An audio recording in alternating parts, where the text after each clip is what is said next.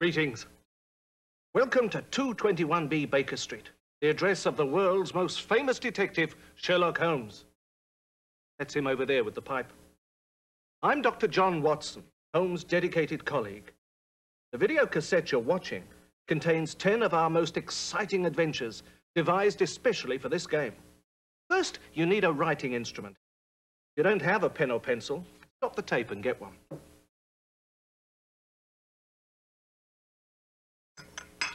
Good. Now, each player should take a sheet from the detective checklist pad. All your writing can be done on the front and back of this sheet. Now, shortly after each adventure begins, a list of lettered items will appear on the screen.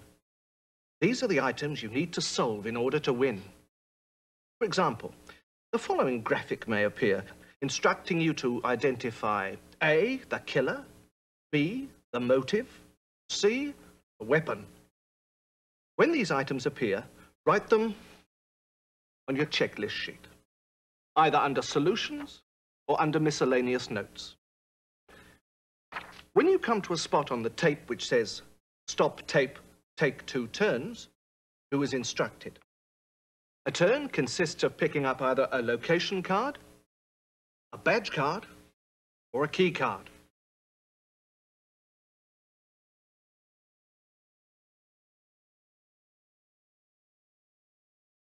Use your detective checklist sheet to keep track of the locations you've been to and the clues you've picked up. On the back of your checklist sheet, you'll see a section marked Quick Quiz Answers with spaces numbered 1 to 4. During some of the adventures, I will ask you quick quiz questions and give you 10 seconds to write your answer. If you answer correctly, you'll earn a bonus turn. The quick quiz questions may come at any time, so stay alert and be ready to write. Each adventure on this tape contains a prologue, three chapters, and an epilogue. After viewing chapter three, the tape will say, stop tape. Take turns until the player announces correct solution. Good luck. At this point, a turn will consist of either picking a card or replaying a scene from the adventure. You may replay any scene, but no more than one scene at a time. Just be careful not to play the epilogue until you wish to see the solution. When you think you have solved all the items that need to be solved, you may, when it is your turn, announce the solution. You then check the solution in the answer booklet to see if you are correct. If you are, you win the game. You may play the epilogue and let the other players marvel at your deductive skills. Any of your answers are incorrect, however, you must close the booklet immediately and you're out of the game. The others then continue playing without you until there is a winner. I'll help you out during each adventure, so there's nothing else you really need to know. Just let the tape keep playing until I tell you otherwise. If you're still unclear about anything, however, you may stop the tape now and check the rule booklet, or rewind the tape and review this opening sequence. Oh, well, I see you're still here. Jolly good. I say, Holmes, it's time. Splendid, Watson. The game is afoot.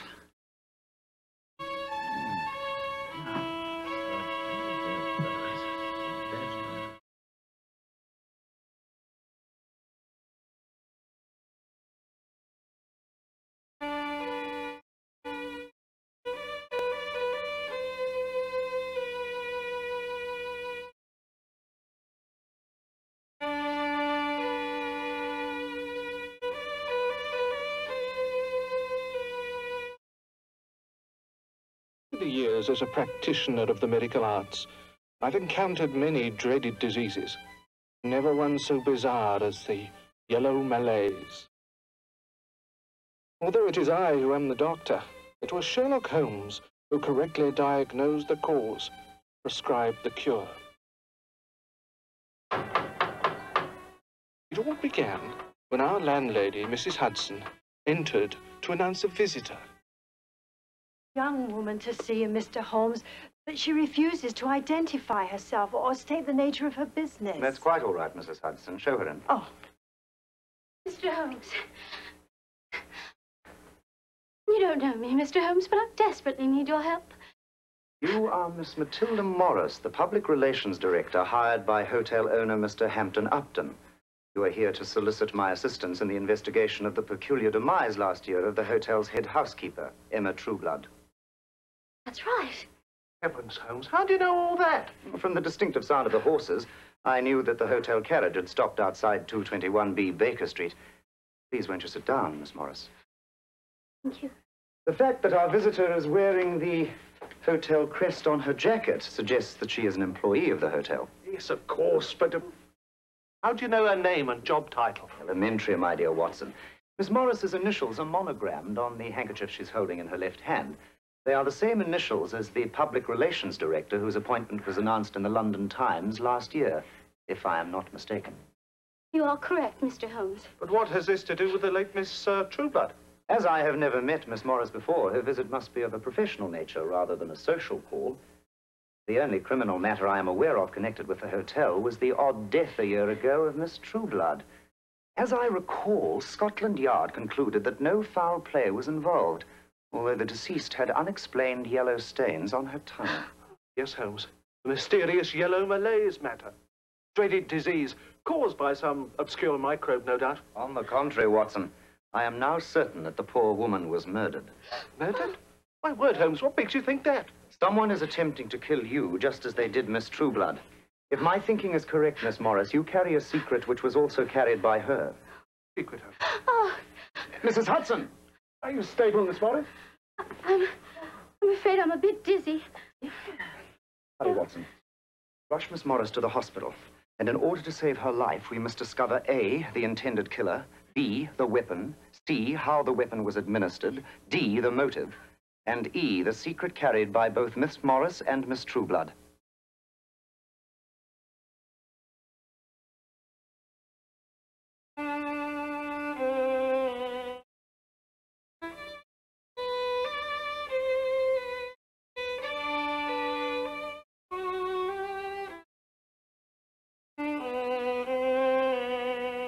The game is afoot.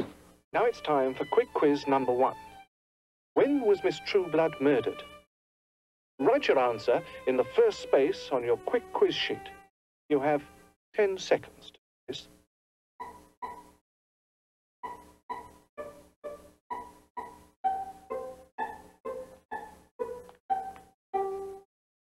All right, time's up. The correct answer is last year, or a year ago. Those who got this right may take an extra turn during the first round of card playing, which is coming up right now. That means you get three turns instead of the usual two. Remember, a turn consists of picking up either a location card, a badge card, or a key card. Oh, those two and their adventures. Why couldn't I find a, a nice salesman to rent this place? Oh,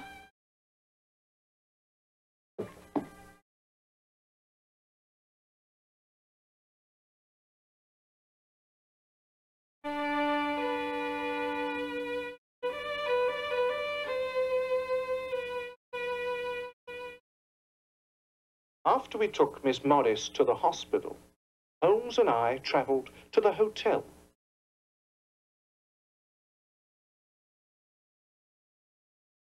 According to Holmes, both Miss Trueblood and Miss Morris were poisoned here.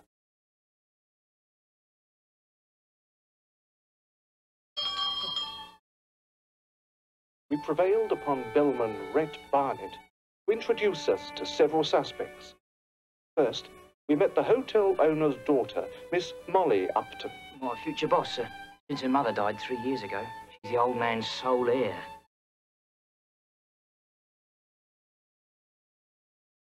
Then, the hotel chef, Miss Jennifer Northlot. This lady makes the best Yorkshire pudding in the whole of London.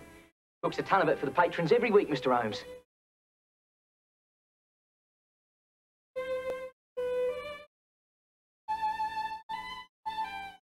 Night watchman, Manfred Mason.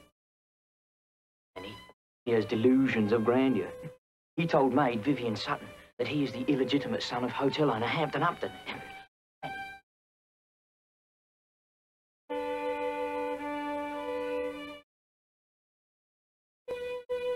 And hotel maid, Vivian Sutton. By the way Barnett looked at Miss Sutton, I could tell he was rather infatuated. Finally, we met the hotel owner himself, Mr.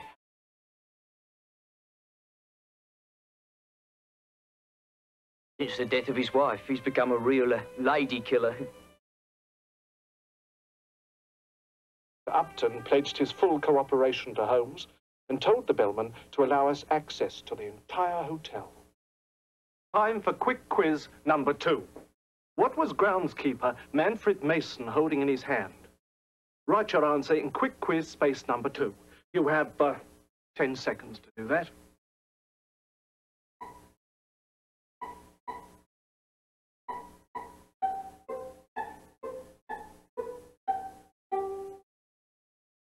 Jolly good. No more writing.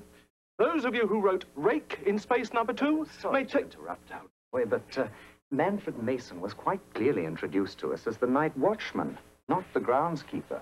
But he was carrying a rake. Oh, sight and hearing are two quite distinct faculties, old boy. Just because a man carries a rake, it doesn't necessarily mean he's a groundskeeper. Yes, yes. Of course, Holmes. Excellent point. So those of you who wrote that Manfred Mason was not the groundskeeper may take an extra turn. But those of you who wrote rake must learn to pay closer attention if you mean to win this game. Watson! Uh, coming, Holmes. Time for another round of card playing. Stop the tape. Take your turns.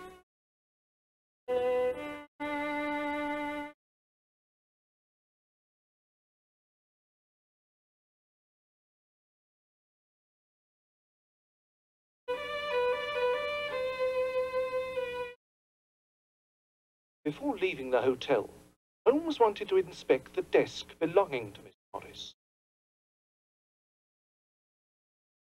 There we examined the contents of the desk. A small bottle of gin, a packet of curry from India, a box of chocolates, some stationery, some postage stamps, and a letter addressed to Miss Morris. Reminds me, Holmes, of a letter I need to post. I hope Miss Morris won't mind if I borrow a stamp. Interesting. What is it, Holmes? Letter to Miss Morris from her employer. Hampton Upton. Nicely. What do you make of it, Watson? Oh. If you want my guess, I think it's a love letter. Very perceptive. I detected a number of endearing phrases which led me to that conclusion. You mean phrases like, I cherish your kisses more than life itself, your love puppy after? Yes.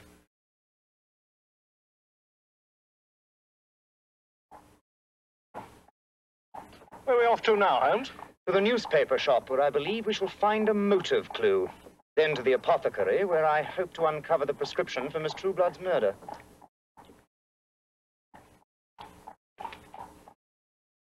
I sincerely hope you washed your hands before we left the hotel, Watson. Oh, what? Because there's a good chance you handled the murder weapon at the hotel. Oh.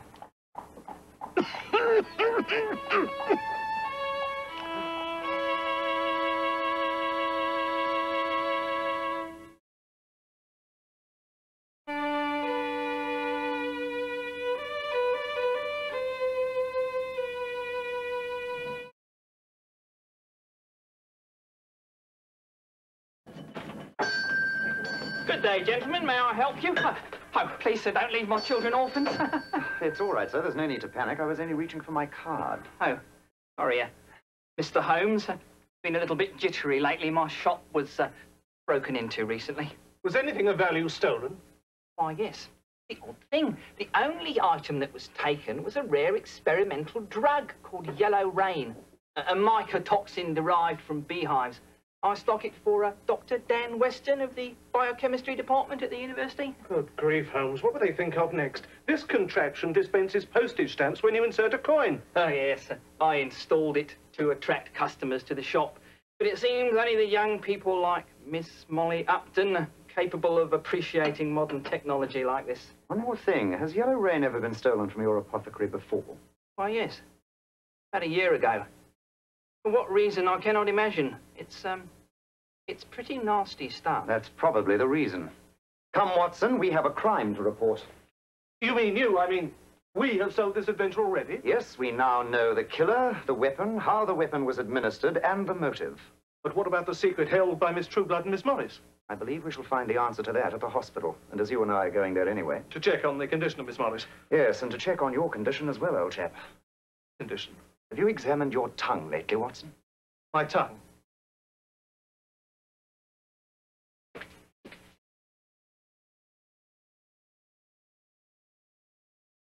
My God, Holmes, it's yellow. Yes, Watson, it appears you have contracted the yellow malaise.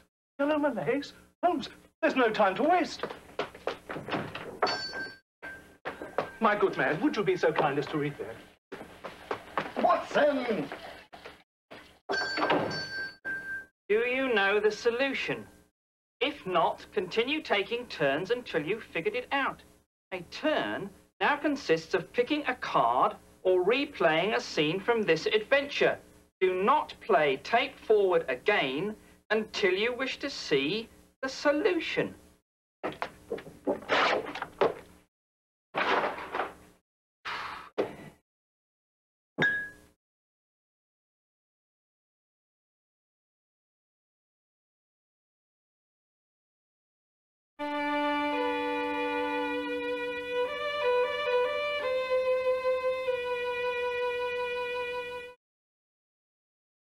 Why did she do it, Holmes? Elementary, Watson. As hotel owner Hampton Upton was a widower, his only child, Molly, would be the sole heir to his estate when he died. That is, Molly would inherit it all, provided Hampton didn't remarry and sire more heirs. See, when Molly learned that hotel housekeeper Miss Trueblood was pregnant with Hampton's child, but Hampton planned to marry the lady, Molly acted to protect her inheritance. Nicely.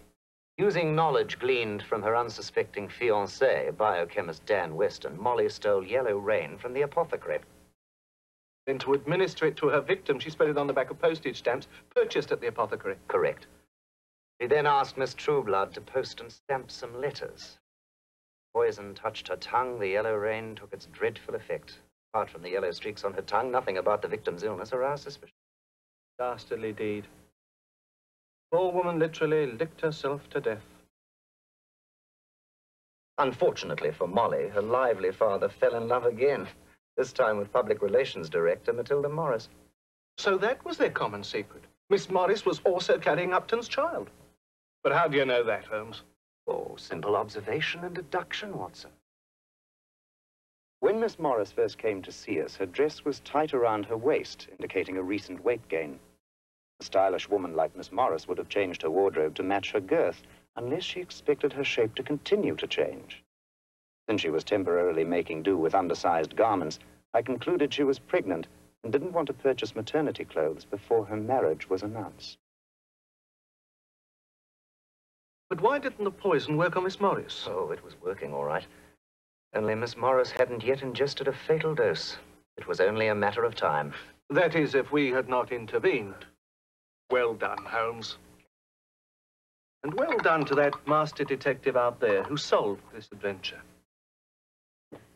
Dr. Watson, that letter you wanted me to post, you forgot to put a stamp on it. Oh, that's silly of me.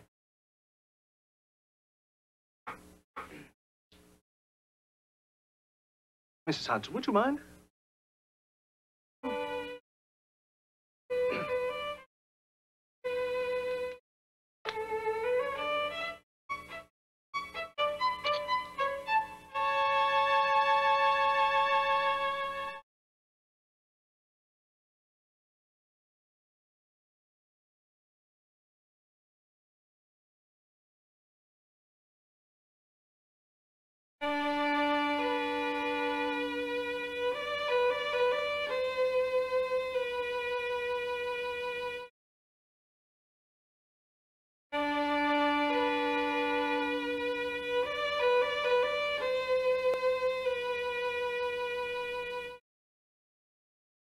This, Holmes. Holmes! The police are baffled because a Mr. Stanley Crimson, a dock worker who was an excellent swimmer, found drowned at the dock. Ah, doesn't take much to baffle Scotland Yard. Yes, but this Crimson fellow was seen touching the statue of the bronze gladiator at the museum shortly before his death. Appears he too was a victim of the gladiator's curse. Rubbish, Watson. There are quite enough plausible reasons for a man's death without turning to the supernatural for answers. But you must admit, Holmes, over the years there have been several unexplained deaths linked to the curse. Yes, and I suspect there is a simple explanation for each death. Murder. Murder? But who? Why? How? What is this curse about, Holmes? Bravo, Watson. You've asked all the right questions. Grab your coat, and we shall find the answers to A, who killed Mr. Crimson, B, why he was killed, C, the weapon used in his death, and D, the mystery behind the curse.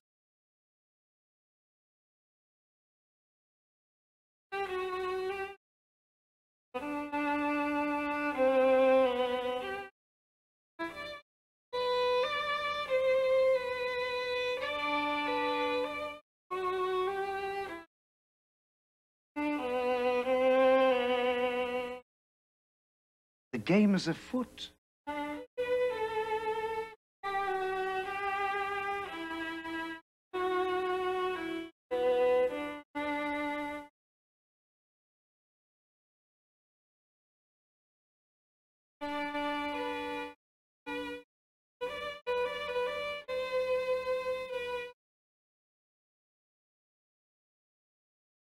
Our first stop was the museum, where we examined the infamous bronze gladiator and met with museum curator Alan Langford.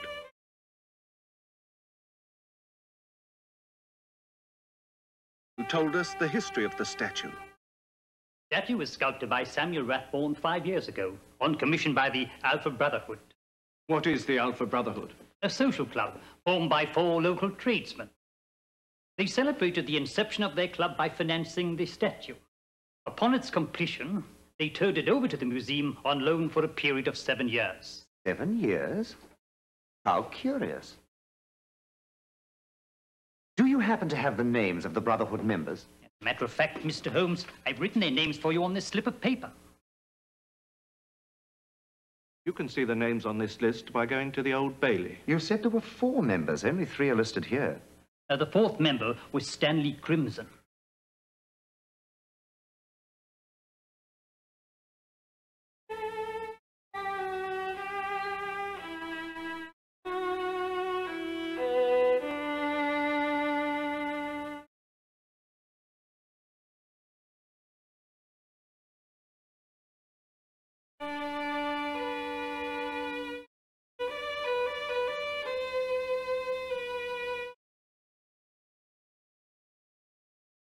From the hospital, we went to the newspaper shop, where Holmes said he found a key motive clue. Our next stop was the pub. Holmes had learned that the Alpha Brotherhood was convening there today. Thinking of joining, Holmes? Hardly, old boy. As a matter of fact, the Brotherhood hasn't added any new members since its formation five years ago. What do you think of that? I think they should find a new membership director. At the pub, we met the three surviving members of the Alpha Brotherhood. Thaddeus Kramer,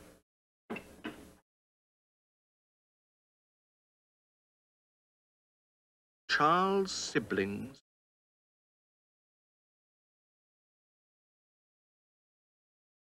and Alfred Narr.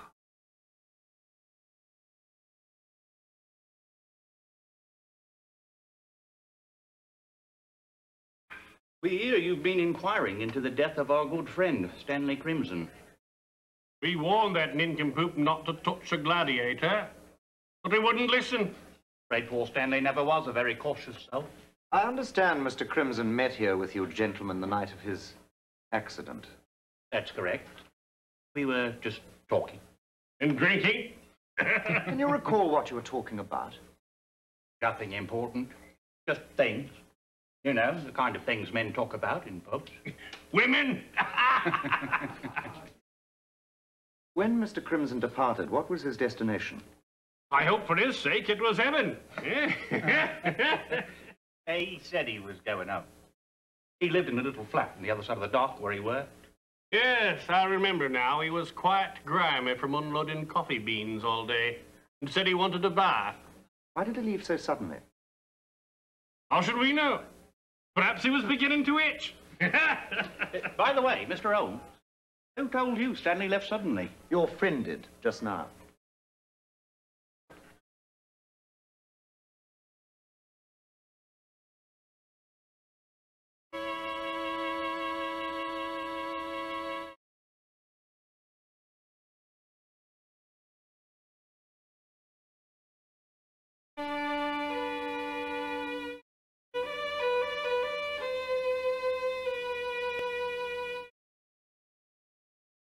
We return to the museum, where this time we witness some shooting.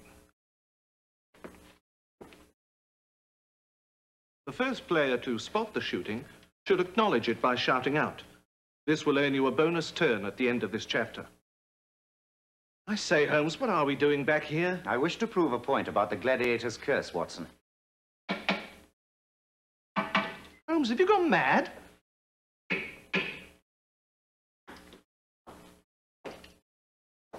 It's all right, my good man. We were just leaving. We were? Yes, Watson, we're on our way to Scotland Yard to report a crime. I now know the killer, the motive, the weapon, and the mystery behind the gladiator's curse. Excellent, Holmes. You've solved this case in record time. Oh, it's very good of you to say so, old chap, but I think your watch has stopped. Oh, bother. There it has.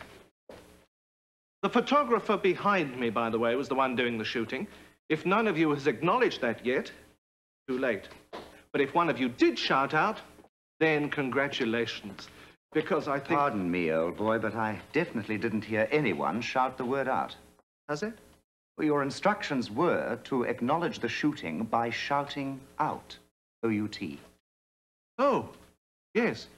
Yes, you're quite right, Holmes. So only the first one of you who spotted the shooting and shouted the word out may take a bonus turn at the start of this round of card playing. And if you got this one right, perhaps I should be writing about your adventures.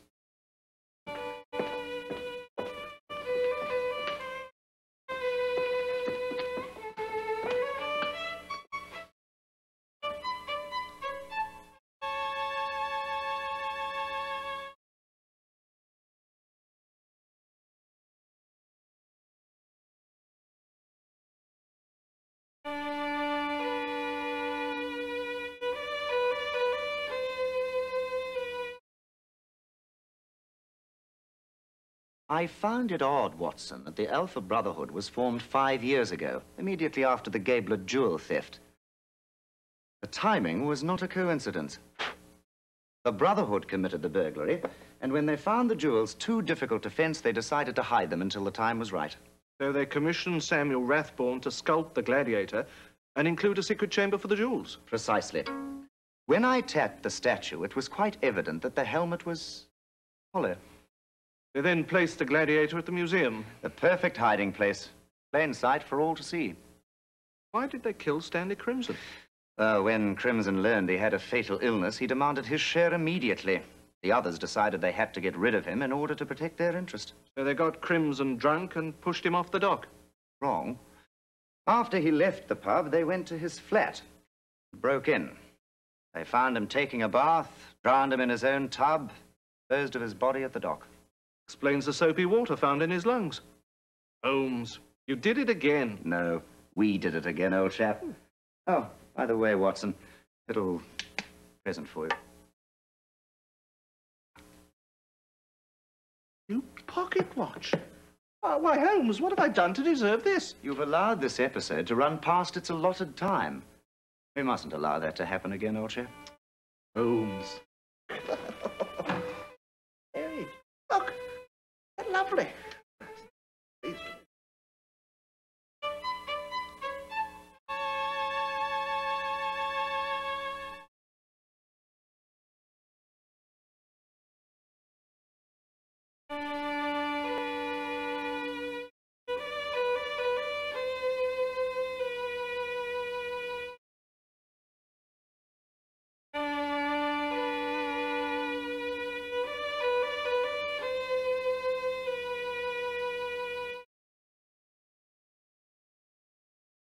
I've always wondered whether my proximity to the great Sherlock Holmes might not cause me to exaggerate his prowess.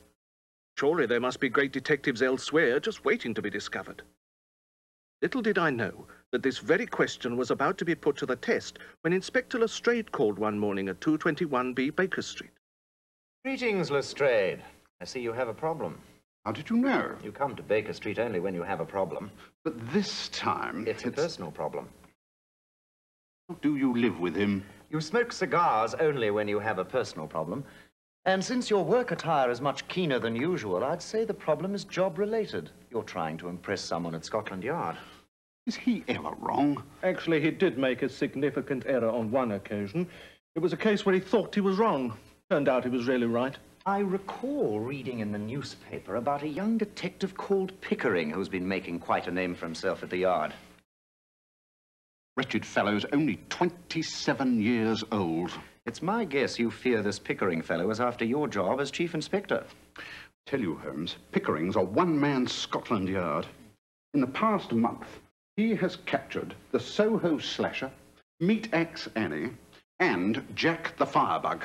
And he apprehended each one of them with hardly so much as a piece of cobblestone as a clue. I say, he sounds like the greatest sleuth of all times. Oh. Uh, except for Sherlock Holmes, of course. Just minutes ago, Holmes, the Duke of Kesterton was found murdered at the dock. I told my men not to touch the body until I'd had a chance to examine the evidence. I thought you may wish to come with me, and then perhaps we could... Uh... Solve this case before Pickering can solve it. Holmes, have I ever told you how much I love your hat? There's no need to grovel, Lestrade. I'll be happy to assist you. Come, Watson. In order to save the inspector's job, we must discover A, who killed the Duke, B, with what, C, why, and D, the Duke's secret.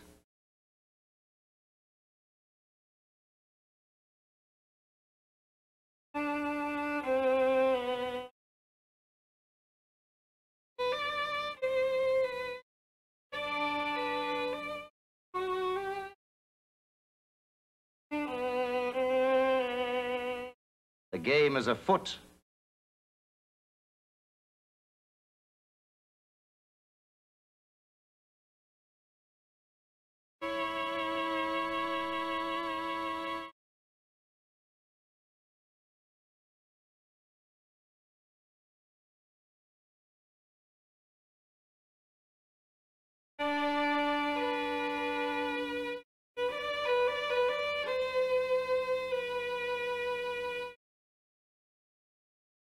The Duke of Kesterton had recently returned from an archaeological expedition in Egypt. Accompanying the Duke on his trip was his assistant, Maggie Lowley.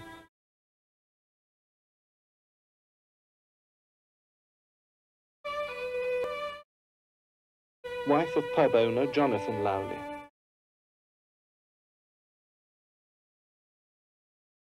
The findings of this expedition were to be turned over to Oliver Loring, curator of the London Museum.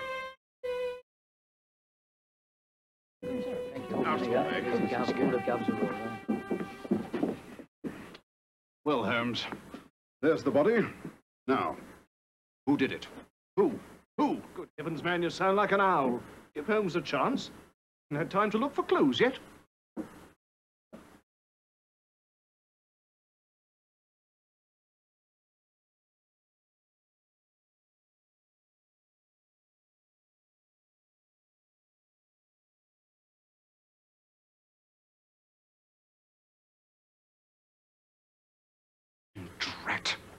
Blasted Pickering. Pickering. So nice to see you again. Nice to see you too, Lestrudel. That's Lestrade. And these two gentlemen must be? Sherlock Holmes and Dr. Watson. Yes, of course. I understand that Holmes was considered quite a competent sleuth in his day. In his day? How long have you been here, Inspector? Just a matter of minutes. Well, Holmes and I were just discussing a couple of theories concerning the Duke's murder. Save your energy, old chap. You see, I've already solved the case. Well, uh, so have we. Holmes, uh, tell the Inspector who murdered the Duke. I'm afraid I haven't got the foggiest idea. Holmes.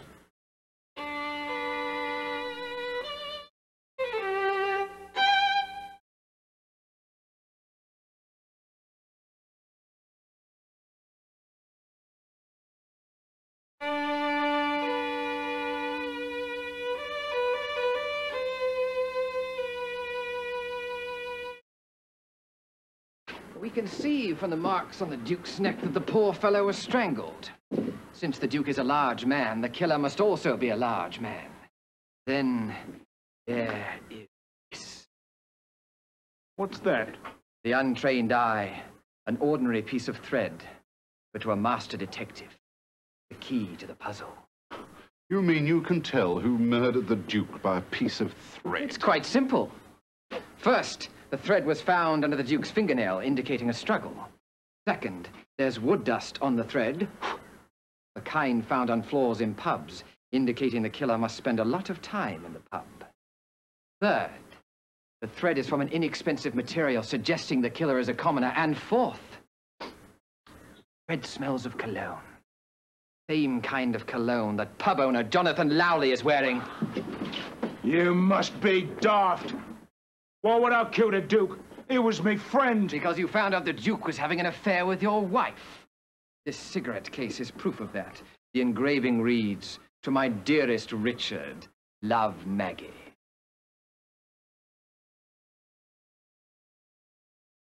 So there you have it. The killer is Jonathan Lowley. The weapon is his hands. The motive, jealousy.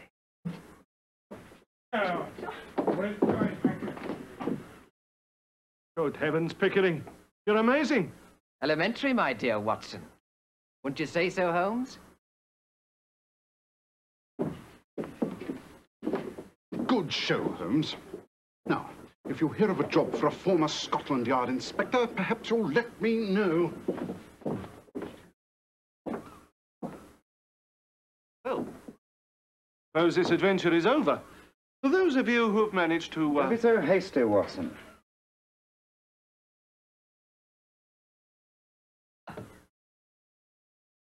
It isn't over until the fat lady sings. Fat lady, Holmes? I don't hear any fat lady singing. Precisely. Come, Watson. I believe an important clue awaits us at the newspaper shop.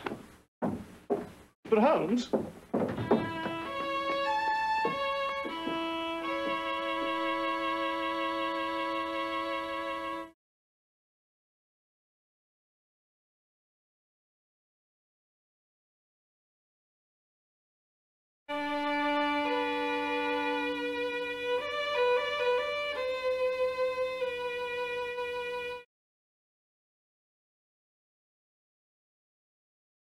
After stopping at the newspaper shop, we travelled to the pub, where we spoke with Maggie Lowley, wife of accused murderer Jonathan Lowley. Mrs. Lowley, is it true that you and the Duke were romantically involved? Holmes, even if that were true, Jonathan would never have killed the Duke. How can you be so sure? Holmes, all I can tell you is that I'm certain he's innocent. Give me a light. Thank you, ma'am. Mrs. Lowley, is there anyone who may have wanted to see the Duke dead? Anyone he quarrelled with lately? Oh, he did get into a minor altercation with Oliver Loring the other day.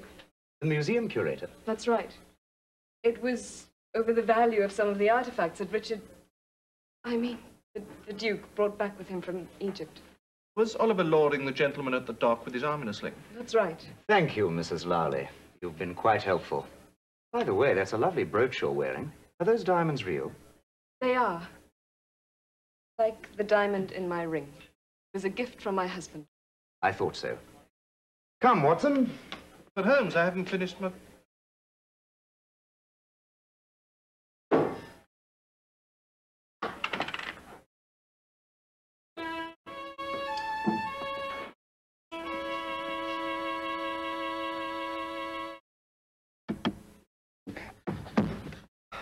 to now, Holmes? To give our evidence to Lestrade. What evidence? We now know that Pickering's solution is false. We know that. Surely you noticed the two big clues at the pub, Watson? What two big clues? On Maggie Lowley's chest. Really, Holmes? The key to this case was the Duke's secret. A common but not so common union. Oh, Word, Holmes, what on earth's that noise? That, Watson, is the fat lady singing. Oh, does that mean... Yes, Watson. This adventure is over.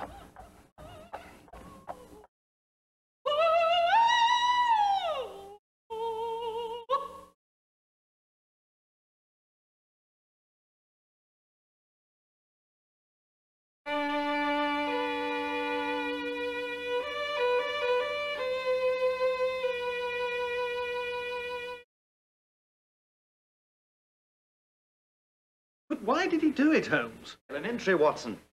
Pickering was an ambitious man. Thought he could advance his career to the top of Scotland Yard by creating crimes and then solving them.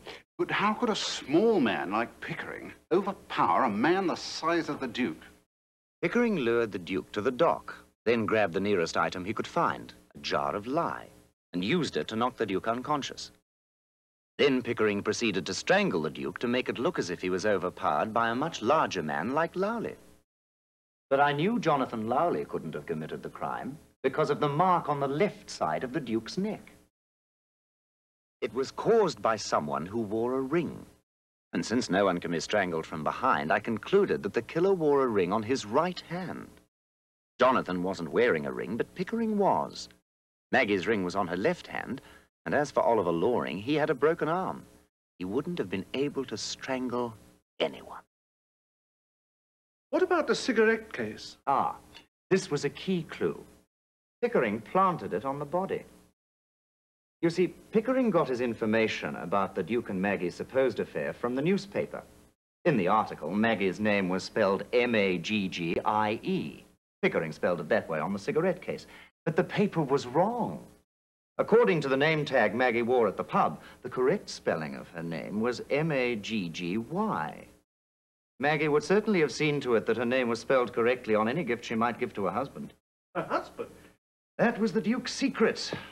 The Duke and Maggie were actually husband and wife. He had to keep his marriage to a commoner like Maggie a secret or risk losing his title. Jonathan Lowley was merely a friend posing as Maggie's husband. On earth did you deduce that? Well, I suspected something was wrong when I saw Maggie's diamond brooch and ring. A pub owner could never have afforded to buy his wife such jewelry. You're incredible, Holmes. Thanks to you, Pickering's behind bars, my job as chief inspector is safe. That is, unless Sherlock Holmes should apply for a job at the Yard. You wouldn't, would you, Holmes?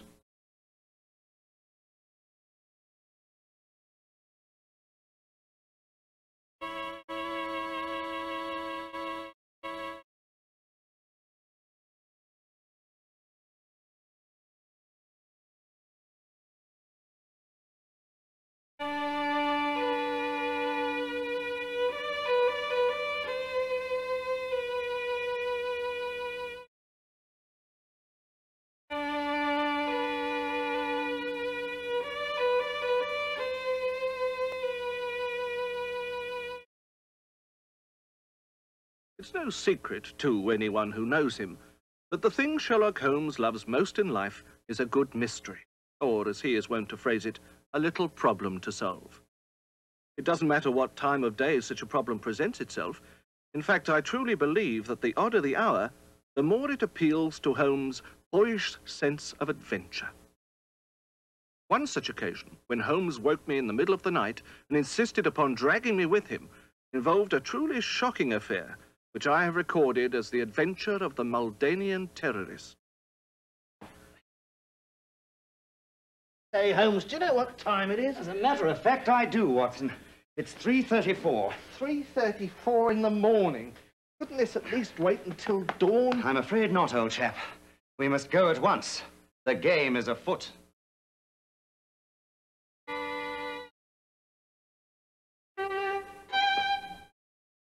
Would you mind telling me what this is about, Holmes? I received this note from Inspector Lestrade.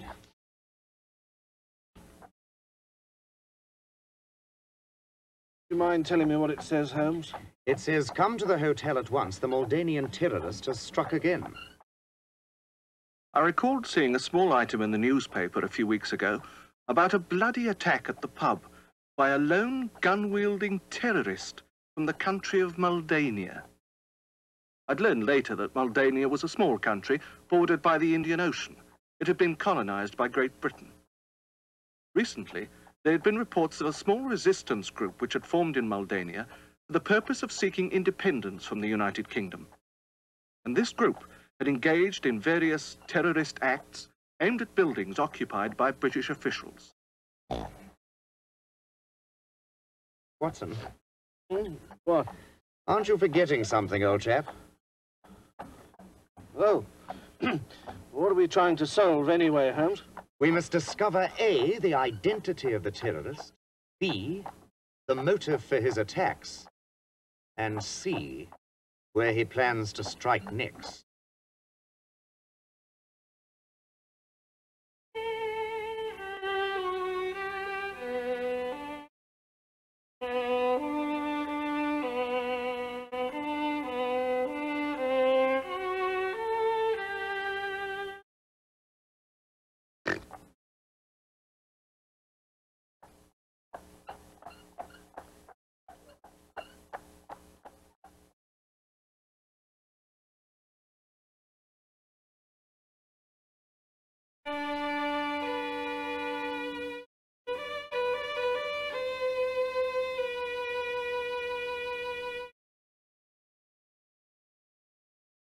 At the hotel, we met Lestrade, and he informed us of the circumstances.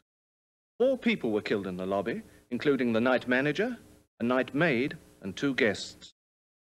The killer left a calling card with the green and gold insignia of the Maldanian flag on one side and the words Rajmavek Maldania printed on the other. It's identical to the card left in the pub a few weeks ago. The words Razmavek Maldania translate Long Live Maldania. May I keep this for a while, Lestrade? Well, it is evidence, Holmes. Thank you, Inspector. But, uh... We learned that seven persons had been present during the pub attack, which occurred at closing time. Six were killed, one survived. The survivor, a Mr. Daniel Merritt, had described the killer as a lone gunman wearing a green and gold knit mask over his entire head, and wielding two revolvers.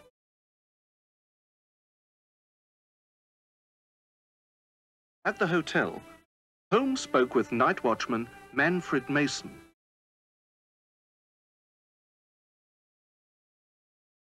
who heard the shooting but didn't see a thing.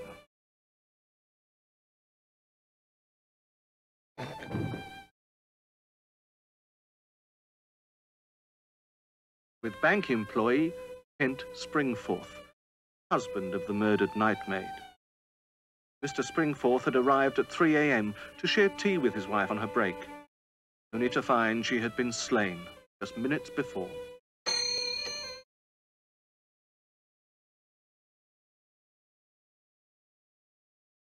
We spent a good deal of time searching the lobby for clues.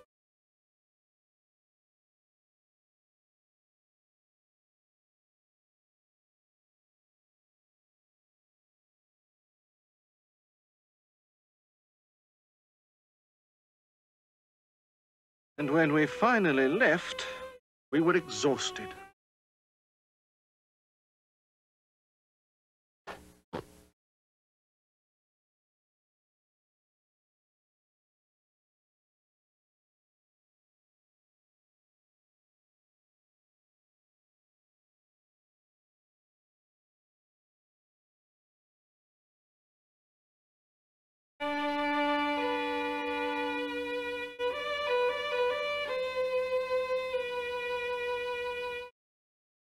I suggested to Holmes that we return to Baker Street and catch a few winks.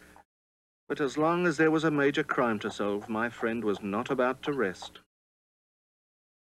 You find it peculiar, Watson, that a terrorist would plan his attack so late at night. Peculiar, Holmes? Yes, both attacks took place at times when there were relatively few people present. One would think a terrorist could make a greater impact for his cause by selecting a time during the day, when both the hotel and pub would be more densely populated but he could only carry two guns at once, Holmes. And he may have feared with too many people present he would be apprehended.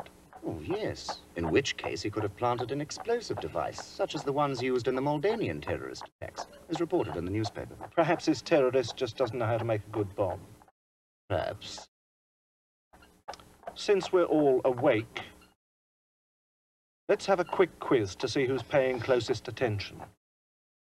According to the sign on the hotel's front desk, what time is checkout time? Write your answer in space number three. You have 10 seconds.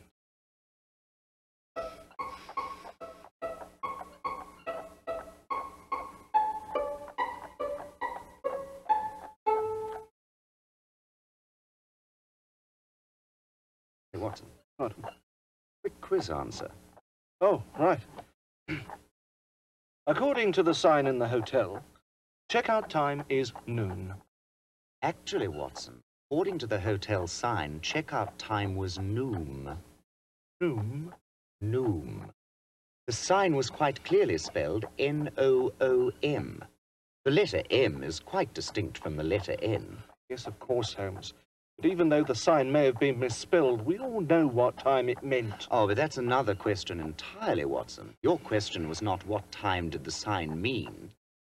Good point. Those of you who wrote noom may take an extra turn in the upcoming round of card playing. Well, go on. Take your turns.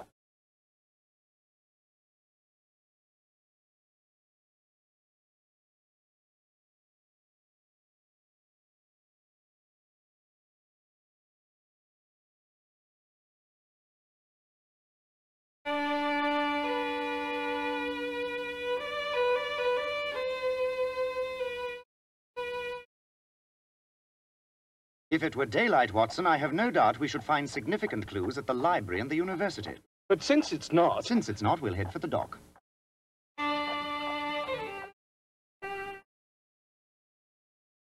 At the dock, we found Sea Captain, former Merchant Marine Seth McThird, doing his early morning exercises.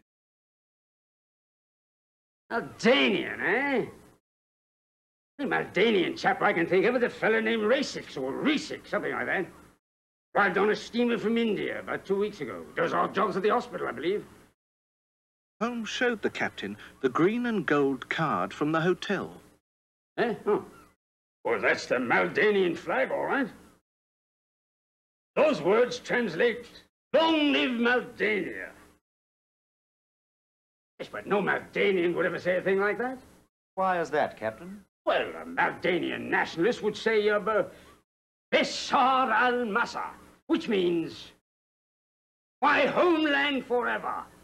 You mean the expression long live is strictly British? That's quite. Come, Watson. I believe we have solved this case. That means we can get some sleep. Yes, right after we stop at Scotland Yard. Come, Watson.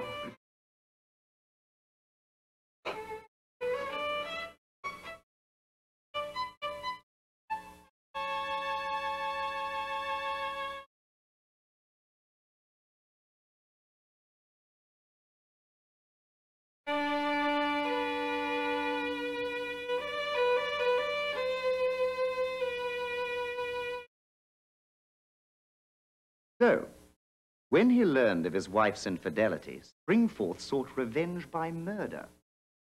But he hoped to throw suspicion from himself and attempted to disguise his crimes as the actions of a mad foreign terrorist, hoping that Scotland Yard would see the forest and not the trees.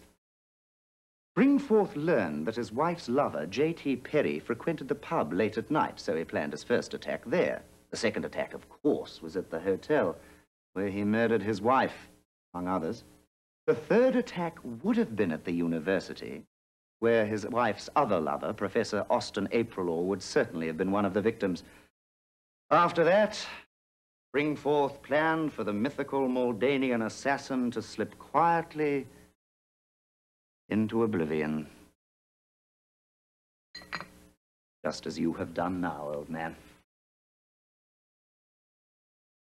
Good night, Watson.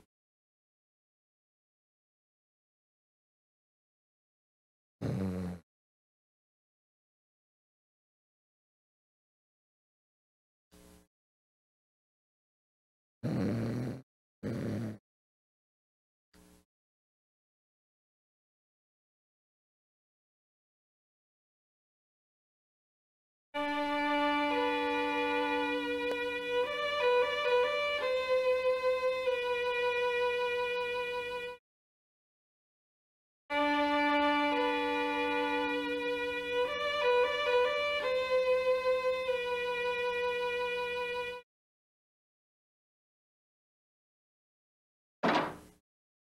Holmes, you'll never guess what's in today's paper.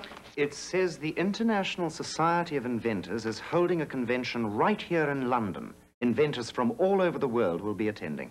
Good God. How did you deduce that? I read the paper. Oh. Gentlemen, gentlemen, thank goodness I found you. I'm sorry to burst in on you like this. It's a matter of life and death. My name is... Thomas Edison. Yes, but how did you... The pen in your top left-hand pocket is from the Science Institute, indicating you're an inventor here for the forthcoming convention. Your attire is of the highest order, indicating you're quite successful. This, combined with your American accent and your cufflinks, which bear the initials T.E., lead me to one conclusion only, that you are Thomas Edison, one of the world's greatest inventors. The world's greatest inventor. I'm Dr. Watson, and this is the world's greatest detective, Sherlock Holmes. I need your help. Someone is trying to kill me. I found this note under my door. Dear Mr. Edison, you insidious insect. You shall be exterminated before the week is out. Holmes told Edison to return to the hotel. We would investigate the matter. Come, Watson. To save Thomas Edison's life, we must determine A, who is trying to kill him, B, the killer's motive, and C, the intended weapon.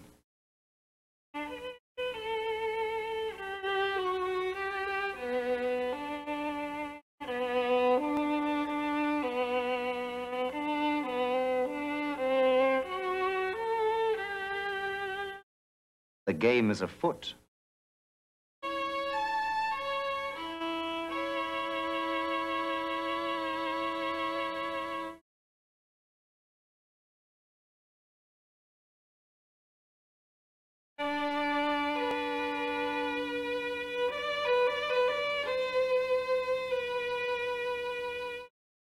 Holmes and I were on our way out when another inventor, Alexander Graham Bell, entered our parlor.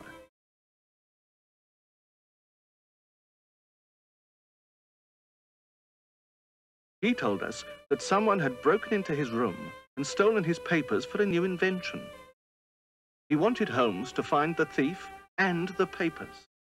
Bell, it's not often that I encounter a client as distinguished as yourself. Oh, could I have your autograph? Well, don't see why not. Would you make it out to Sherlock Holmes, you insidious insect? Oh, not you, Mr. Bell. What all my friends call me. What do you say? You insidious insect. Ah, oh, and pens put ink all over my fingers. The facilities are down the hall.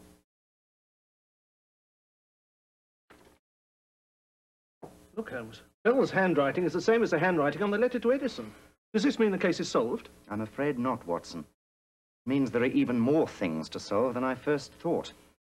To recover Bell's papers, we must determine D, who stole the papers, E, the location of the papers, F, why the papers were stolen, and G, the mastermind behind this whole plot.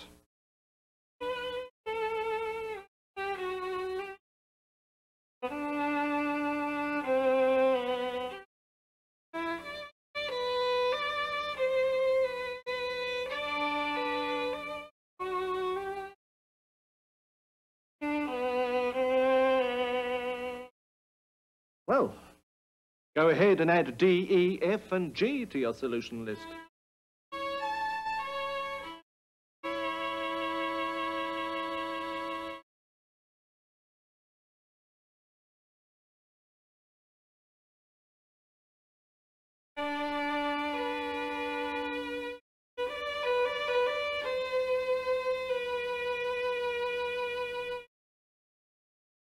Tell me about some of the other inventors staying at the hotel. After leaving my room this morning, I met two brothers in the hotel lobby, Wilbur and Orville Wright. I can never remember which is which.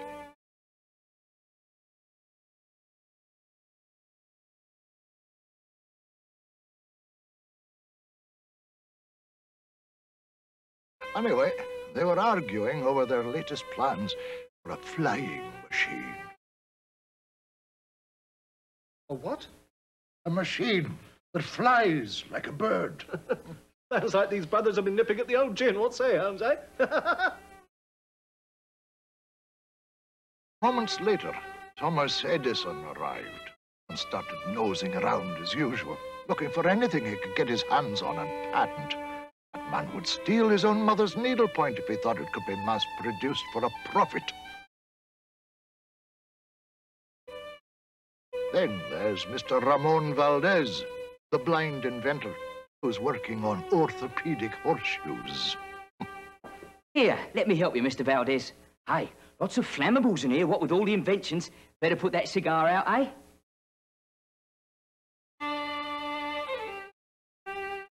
fact, Ramon's the one who suggested I come and see you. Is that so?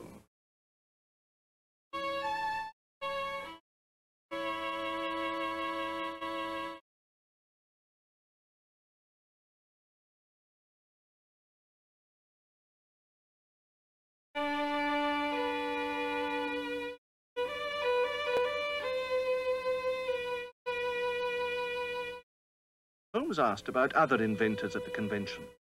Bell recalled one. Did indeed sound unusual, Hmm. if not suspect. His name was Sebastian Kane. He has this bicycle contraption. I'm not sure what the damn thing is supposed to do, but it definitely looks impressive.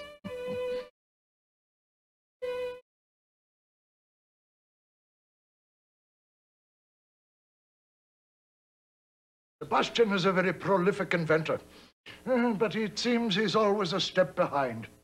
He had such high hopes for his lemon orange drink called Six Up, and his cola called Nurse Pepper. He's hoping his latest invention will bring him his long-awaited recognition. he calls it the Hula Square.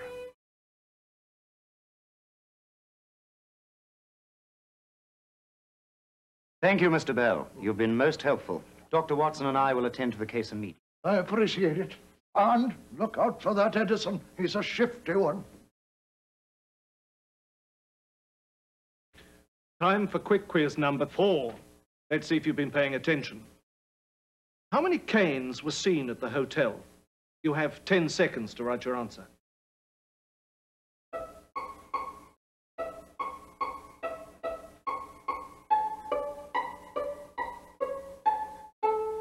Very well. Stop writing. The correct answer is two.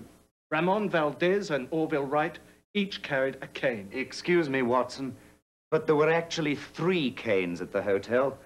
You forgot the inventor, Sebastian Kane. Oh, oh of course. Yeah, that's what I meant to say. Three canes. Come, Watson, we must go to the hotel to prevent Thomas Edison's murder. Sebastian Kane. I knew that.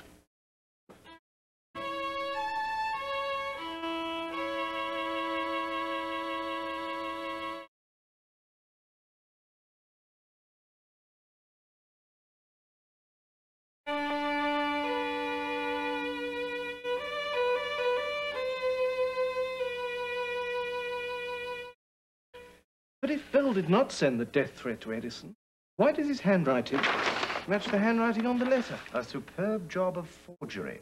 If Bell had been guilty, he would never have incriminated himself by giving me a sample of his handwriting. Whoever sent that letter wanted to frame Bell, and that someone was Ramon Valdez. You mean the blind Spaniard? Ah, the Spaniard is not blind. Ramon Valdez is none other than the infamous Colonel Sebastian Moran in disguise. Of course. Moran is a notorious master of forgery and disguise. How did he plan to kill Edison? Moran knew that Thomas Edison was fatally allergic to soybeans. He planned to slip a toxic dose into Edison's drink during the convention banquet. Earlier, Moran had even asked Bell to pick up some of the soybean extract from the apothecary, thereby further incriminating Bell following the murder. Diabolical. But why did he want to murder Edison and frame Bell? To assist his evil mentor, Professor Moriarty, in his plot to take over world communications. Moriarty knew that with Bell and Edison out of the way, he could steal the idea for the telephone. The what? The telephone. It's an idea that Edison and Bell have both been working on, which could change the course of history. So that's why Moriarty had Moran break into Bell's room to steal his plans for the, um... The telephone, precisely. But Moran's room was searched. Where did he conceal the papers? Where no one would suspect. Inside his white cane. I noticed that the design on the cane handle didn't align properly with the design on the cane itself, suggesting that the handle was washable. Good show, Holmes. And good show to all of you out there who got the correct solution. Watson, what have you got in that parcel?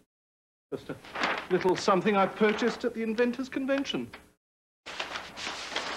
I think it holds a great deal of promise. A hula square? Aren't you a little old for that sort of thing, old boy? At all.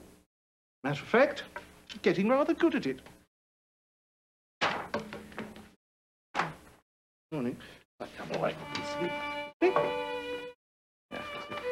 Try it the other way, Well, I will. you know.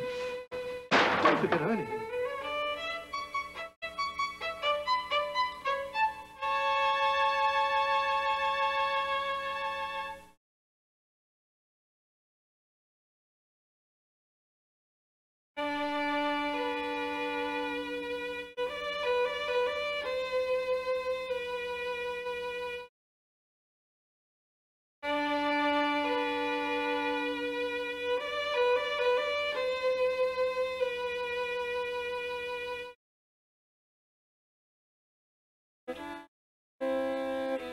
Attack.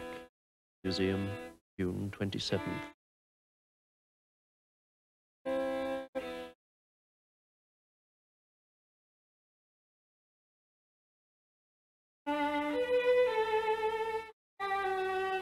The Second Attack. Pub, August 8th. Another round of ale, thanks, Squire. Excuse me a minute, love. Got to make a wee stop at the WC.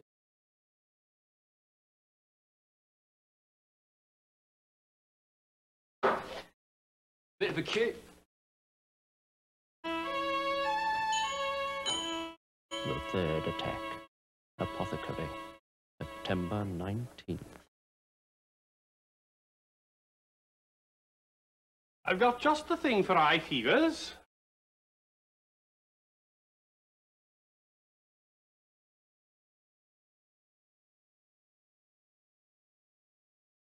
Two of these should cure your ill.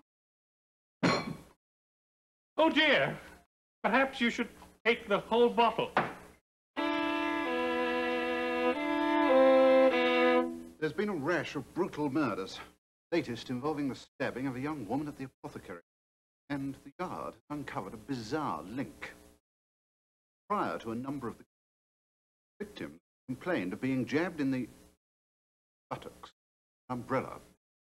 How curious. Appears that someone is going through the city with an umbrella marking people for death. Why so pale, Watson? Just about a week ago that I was jabbed with an umbrella myself. Elderly chap with a beard, I believe. How uncommon. Common Holmes. London is full of elderly men with beards. Well, not the beard, Watson, the umbrella. Last week we had a dry spell. Come, Watson. In order to save your life, we must determine A, the killer or killers, B, the purpose of the umbrella attacks, C, the motive for the murders, and D, what all the victims had in common.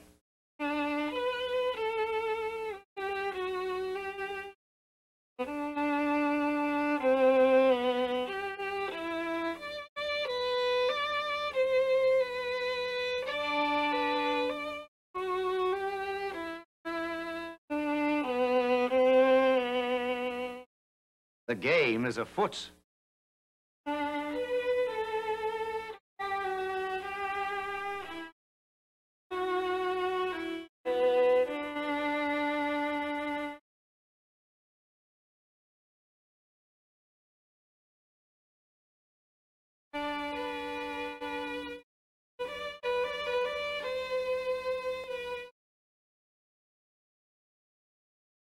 First, we visited the apothecary, where we met pharmacist Maxwell Ladd.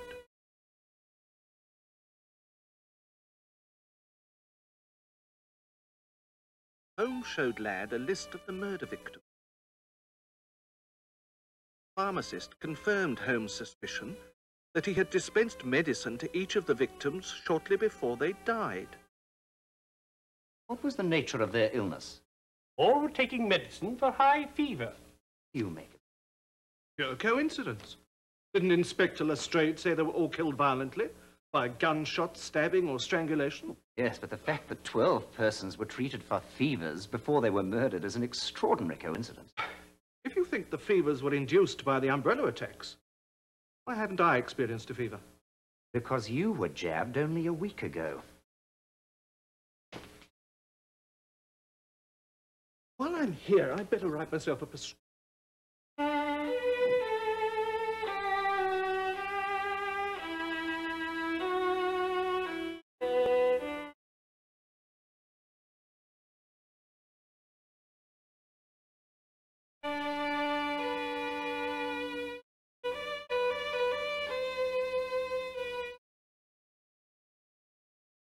After stopping at the university, we headed for the hospital. There we met with Dr. Matthew Birchboy, who had performed the post-mortem examinations of the murder victim.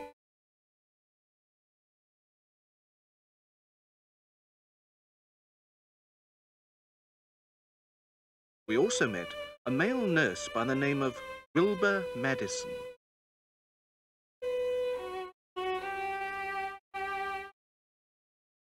Holmes. Dr. Watson. My assistant, Madison.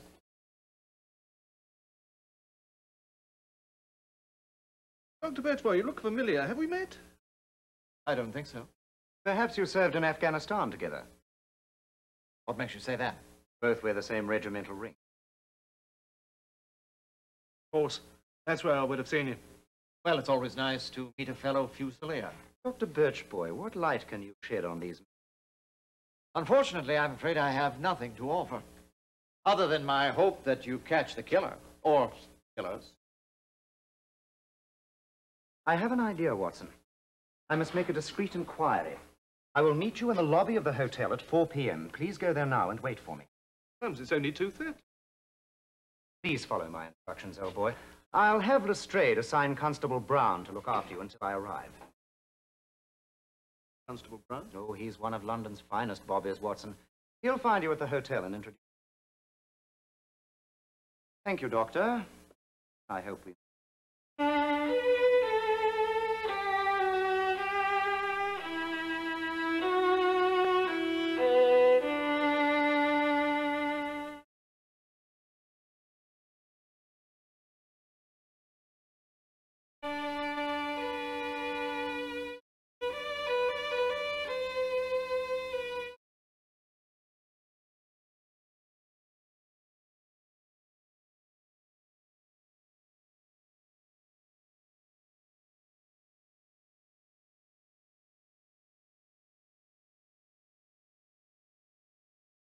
Excuse me, sir.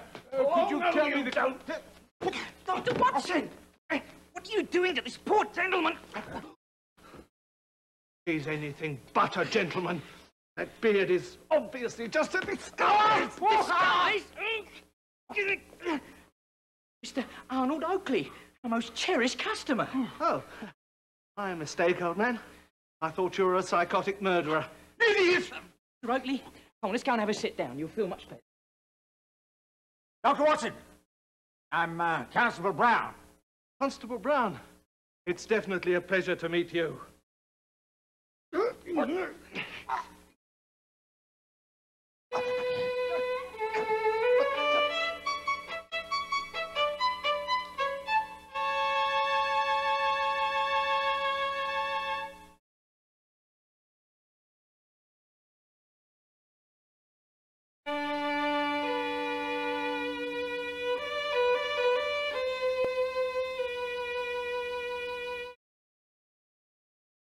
must confess, Holmes, while I am delighted with the outcome, I have some reservations about your methods. Did you really need me to serve as a decoy to capture Dr. Birchboy? Would have been in far greater danger had we not smoked him out when we did. Remember, he was very disturbed that you seemed to know him. I've since learned that he had quite a history of medical malpractice and unethical research. In time, you may have remembered enough about him to raise suspicions.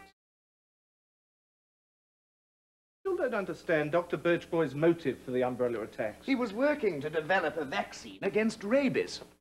First, he would inject unsuspecting members of the public with the vaccine. Then, sometime later, to allow antibodies to form, he would inject the same persons with the rabies virus to test the effectiveness of the vaccine.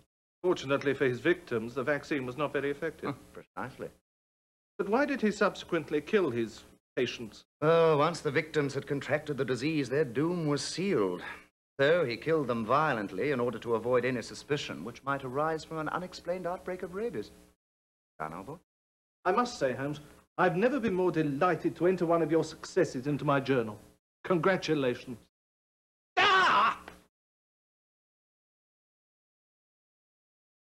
That's not funny, Holmes. Cab of mirth, old boy.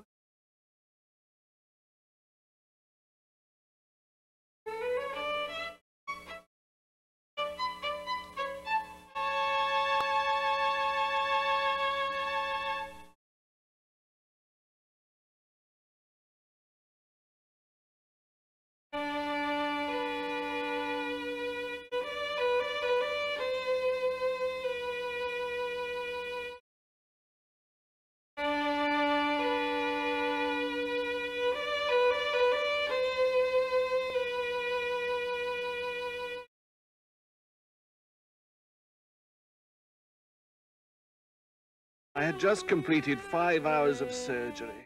A favour to a friend. Was dog-tired. I arrived home and walked directly into the adventure of the purloined pearl. Known, Holmes? Long day, Watson. Moved that gallstone from Lady Flagstaff today. Enormous woman. Enormous gallstone.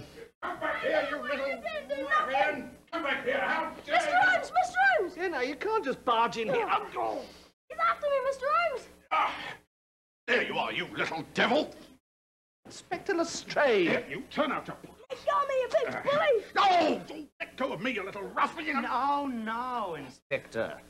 I assure you Teddy here did not steal the Pearl of Punjab. I know I'm going to regret this more than my first marriage, but how do you know I am in pursuit of the Pearl of Punjab? Elementary, my dear Inspector. I knew you were going to say that. Everyone knows that the pearl was to arrive today at the museum for a brief exhibit. It says in the paper that you have been put in charge of security.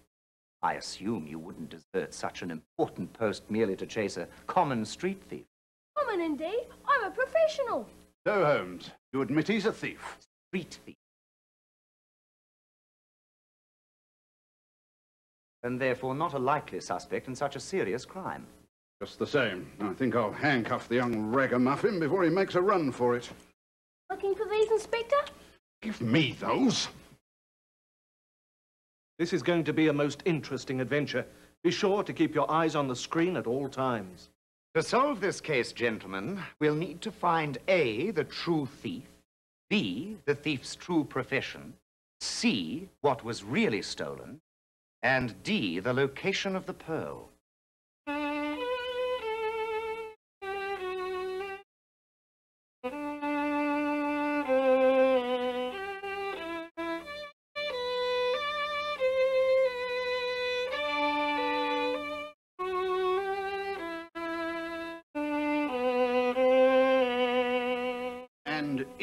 My wallet. The game is afoot.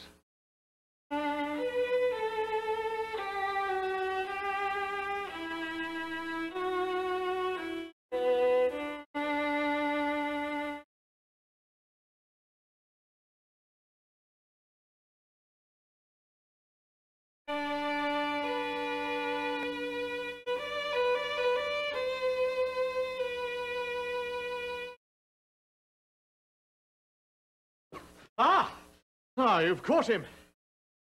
Uh, Hal Dover, London Times. Well, now, a newspaper reporter. Right, sir.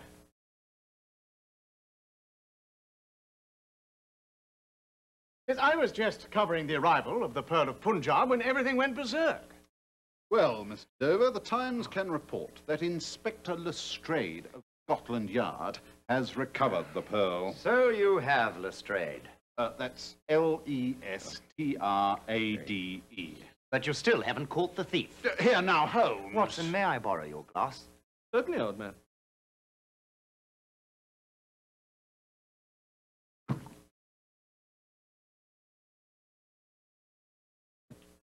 Hmm.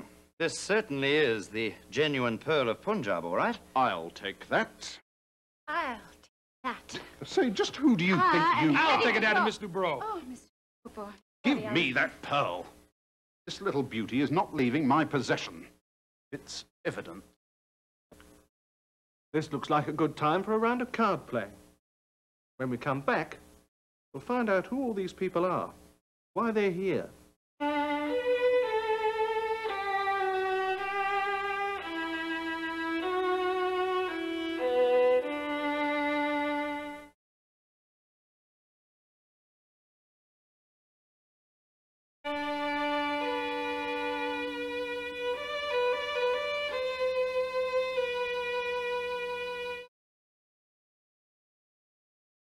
The matter, you inspector? I'm a Peter Alpopo, the shipping and magnet. I own the Pearl of Punjab. And I'm Hetty Dubrow, his secretary. It was I who screamed, stop that thief. Boy ran off with the... I didn't know I had it, honest. I was just shooting marbles on the sidewalk when he fell down. I slip in a drop of the pearl. She starts yelling, and he starts chasing me. You hastily gathered up your marbles and ran, not realizing you'd gathered up the pearl as well. Well, the Pearl of Punjab is now quite safe right here in my pocket. It's... it's gone. It was you, you little rascal. Come here. Now, now, where have you... You me where you... You've been picking my pockets again,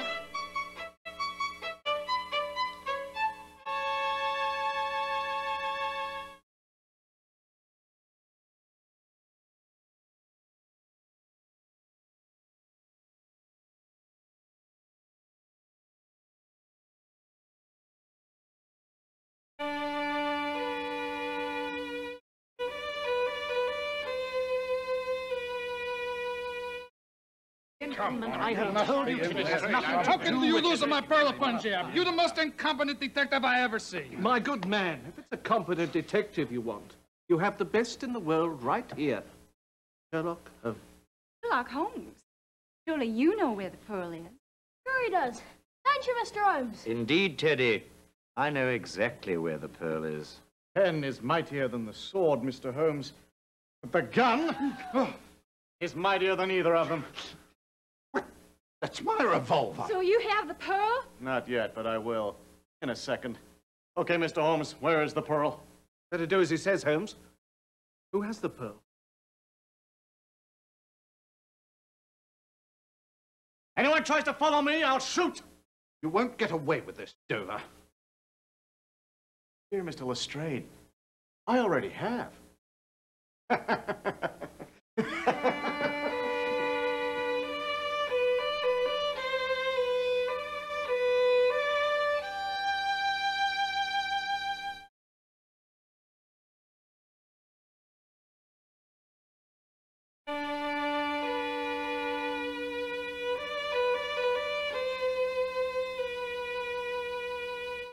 So that man wasn't a reporter. He was a pickpocket. Precisely. Pretending to be a reporter, he was in the process of pickpocketing the pearl from Peter Alpopo's pocket. You didn't think I could say that, did you? Mr. Alpopo slipped on Teddy's marbles. Well, what was it you gave the bloke in place with the pearl? Lady Flagstaff's gallstone. You didn't. Knowing there was a pickpocket among us and knowing how you like to keep a souvenir from your operations, Watson, I made an excuse to go to your bag. I palmed the gallstone when I took the glass out of your bag. Then the thief ran off with a gallstone? Fitting, I'd say. At least more fitting than its previous location, eh, what, eh? Hey, you're a real smart guy, Mr. Holmes. Where's the real Pearl of Punjab? From the moment Inspector Lestrade took the pearl from you, Mr. Alpopo, it has not left his possession. Before he looked a bit shifty, Governor. What? Holmes, are you accusing me You've of... been having a bit of difficulty lighting your pipe, Inspector, ever since you pocketed the pearl, and that's because the pipe and the pearl were briefly in the same pocket. And when they were, the pesky pearl of Punjab lodged itself in the bowl of your pipe.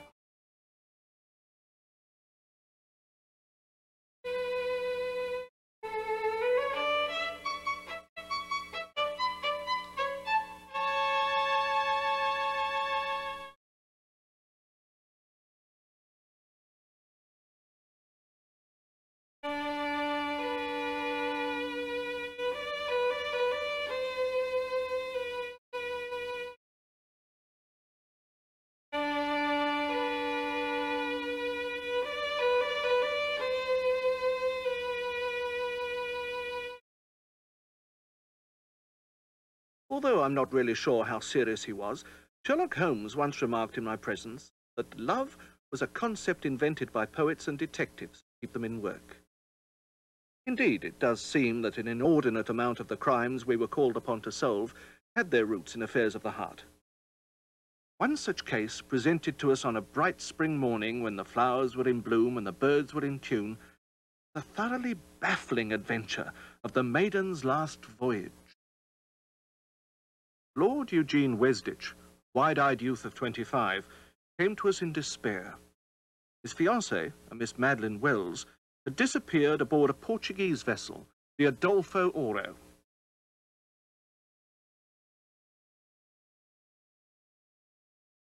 According to Lord Wesditch, Miss Wells had boarded the ship in Portugal, was nowhere to be found when the vessel docked in England.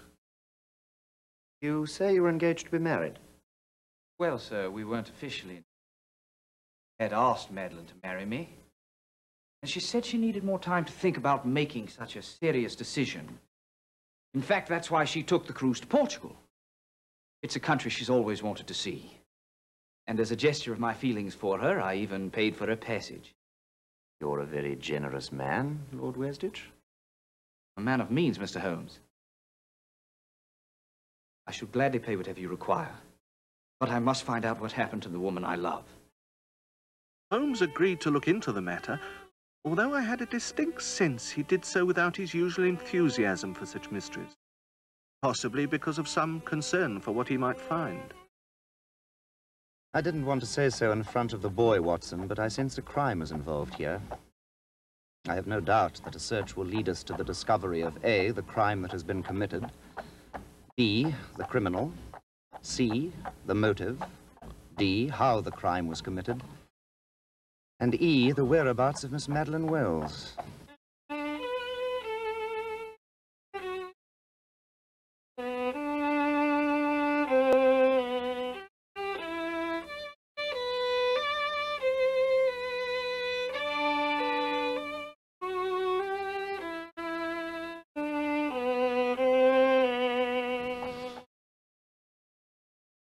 Say, old chap, aren't you forgetting something?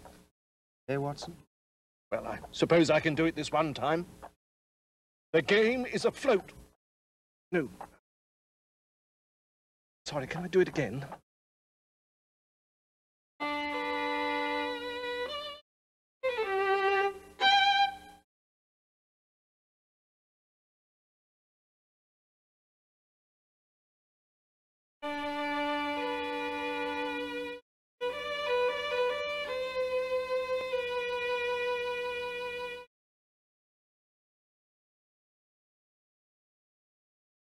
At the dock, we met William Graves, the chief purser of the Adolfo Oro.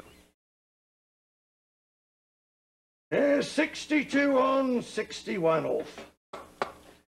I counted every last one of them myself, gentlemen.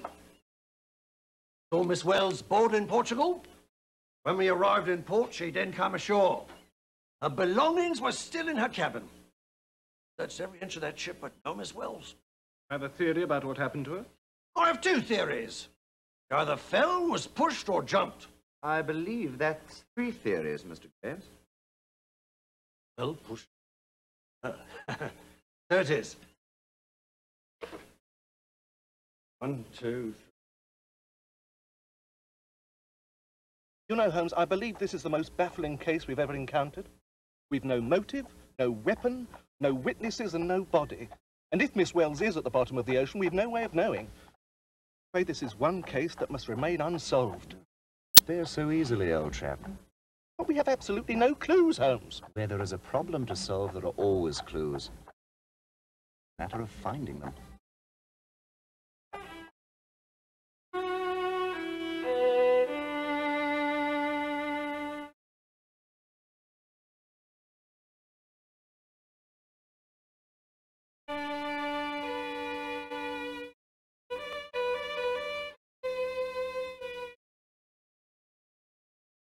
Holmes directed our carriage to the hospital, where we met and spoke with a co-worker of mine, a young nurse by the name of Miss Matilda Tunnell.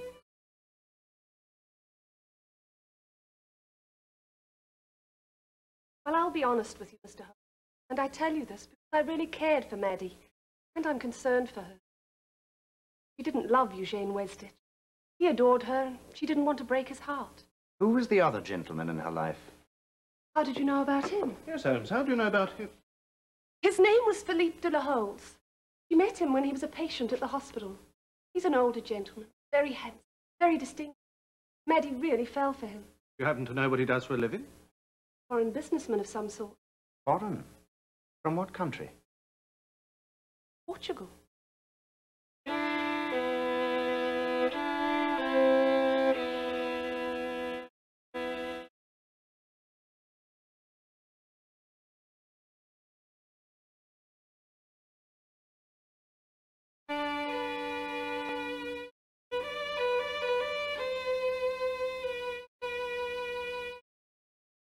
We went back to the dock, where Holmes checked the passenger manifest for the Adolfo Oro.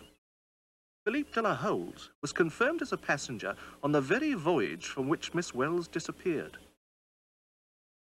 Although Holmes wouldn't say, it was obvious to me that Mr. de la Holes had now become the prime suspect of our investigation. We then headed to the hotel, where I anticipated we might confront this mysterious Portuguese visitor. Ah, Ritz. Tell me, are you in any way acquainted with a Mr. Philippe de la Holes? Yes, Mr. Holmes. You should ask. Just this moment, I was wondering about Mr. Delarose. He always stays here with us when he's in town, but this time, for some reason, he cancelled his reservation. He's not in any hot water, is he, Governor? Not yet. We're investigating the disappearance of Miss Madeline Wells. The nurse? You remember her? Oh, hard to forget a little darling like that. What a lovely. Uh, I'm usually very discreet about such things, Mr. Holmes, but she used to visit Mr. Delaholes here whenever he was in town. Oh, what a rascal he is. A rascal? Why do you say that? Oh, he's married, don't you know? No, I didn't know. Uh, got a family of four in Portugal. Come, Watson, we have a crime to report. Uh, Mr. Holmes, look, well, what I mean is, uh, I've always thought that whatever two people do when they are alone is their own business. Wouldn't you agree? Not when it's murder.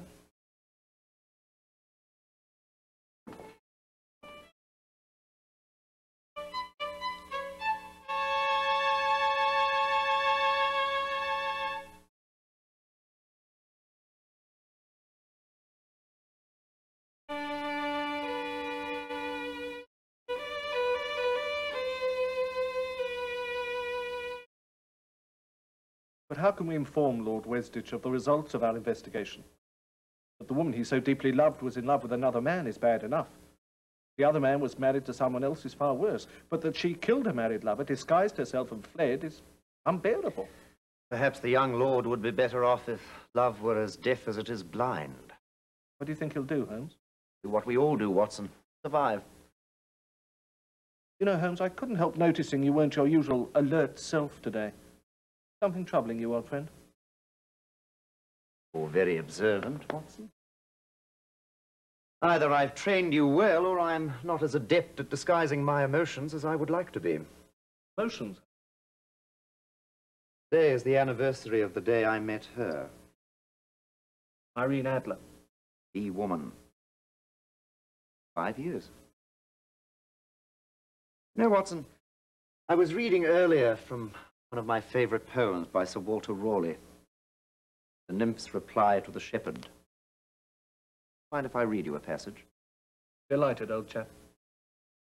Flowers do fade. Wanton fields to wayward winter reckoning yields. A honey tongue, a heart of gall, is fancy's spring, but sorrow's fall.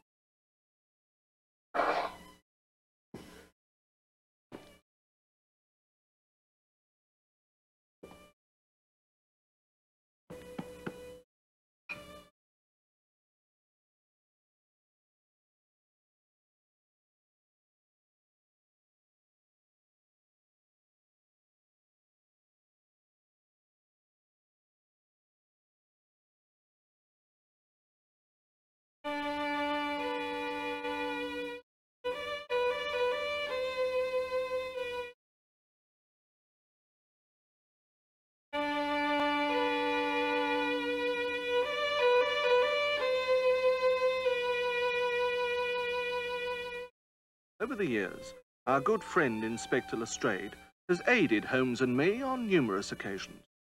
But our experience working with him has never been so, let's say, interesting, as in the adventure of the artful artist. For your book, Lestrade. Inspector had dropped by on a purely social visit and was showing us the book he'd recently had published, entitled Modern Methods in Criminal Investigation. It so happened that we'd just had a visit from a young woman named Catherine Knight, who had come to Baker Street to solicit our assistance in the matter of her brother's suicide. Her brother, struggling artist Andy Knight, had left a suicide note small room above the tobacconist. Articles of his clothing were fished out from the waters below London Bridge, but Andy Knight's body was never found. And his sister suspects foul play. She thinks it's possible, and so do I. I have told her that I would attempt to uncover A, the killer, B, the motive, C, the location of the body, and D, the mastermind behind her brother's disappearance.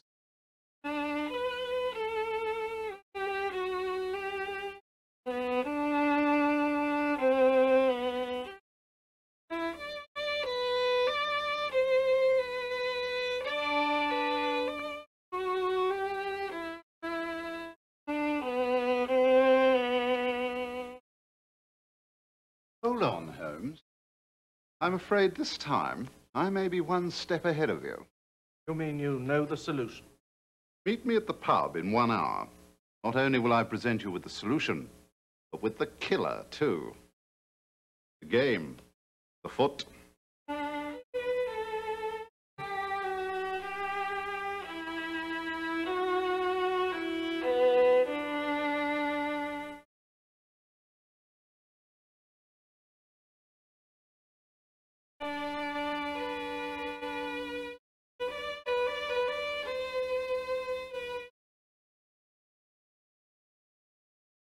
After first stopping at the museum and the post office, we arrived at the pub, where we found the inspector in good spirits. The patrons included jeweler Nathan Oberman,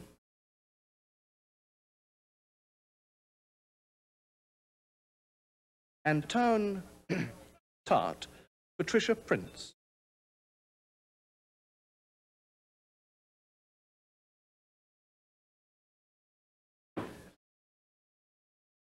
Ah, Holmes, Watson, over here. Greetings, Lestrade. So, tell us, what is the solution to this case? Oh, what's the hurry, Holmes? How about a drink? Wouldn't we be looking for clues? A round of ale for me and my friends, Mr. Notch.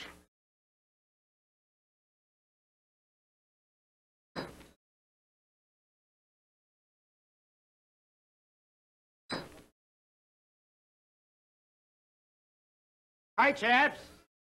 Norm. I just uh, put him over there, Norm. That's very kind of you, Lestrade. Not at all. Thank you.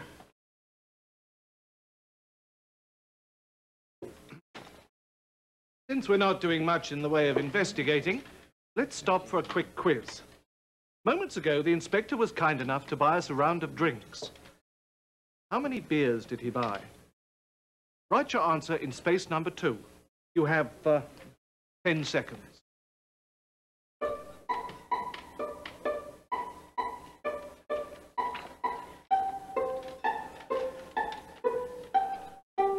Time's up.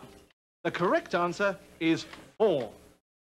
Those of you who got four... Sorry, old chap. Uh, but I'm afraid the correct answer is none. Lestrade didn't order four beers, he ordered four ales. Oh, yes. If you wrote down none, take an extra turn during the next round of card playing. Cheers.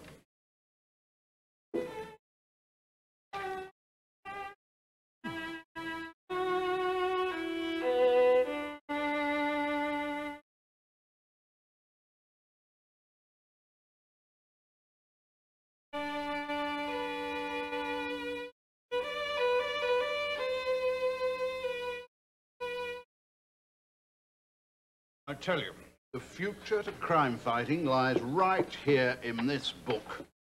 There's this new technique I've been developing called finger smudges. You see, people's fingers may all look alike, but their finger smudges are quite different. According to my studies, two out of eight people have the same finger smudge.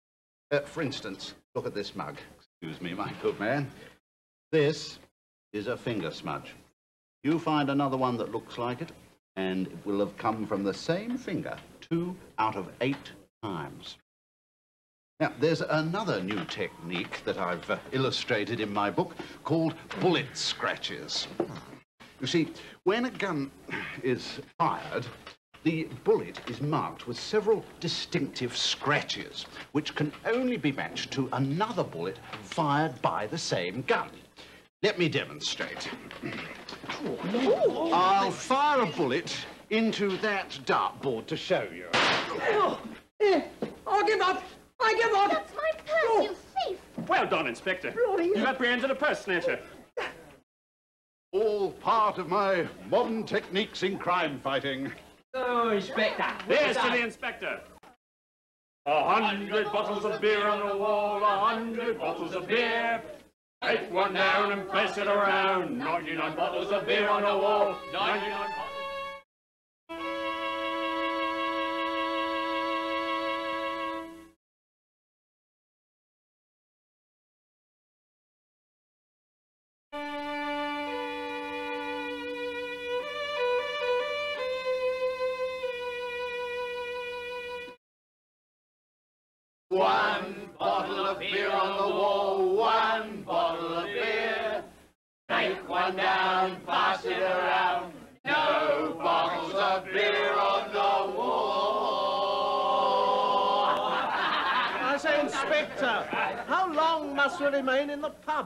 Not long, not long.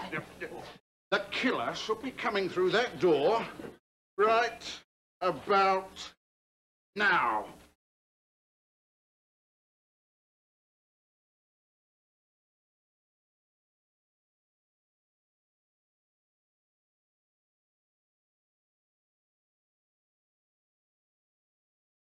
Mr. Notch, I am gallery owner Charles Lord.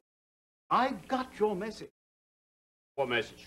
That you wanted to buy one of my Andy Knight originals. I can let you have this one for a mere thousand pounds. Thousand pounds? For this? Blimey, I wouldn't hang that in my loo. It's all the rage now. Since Mr. Knight's suicide, his limited work is in huge demand.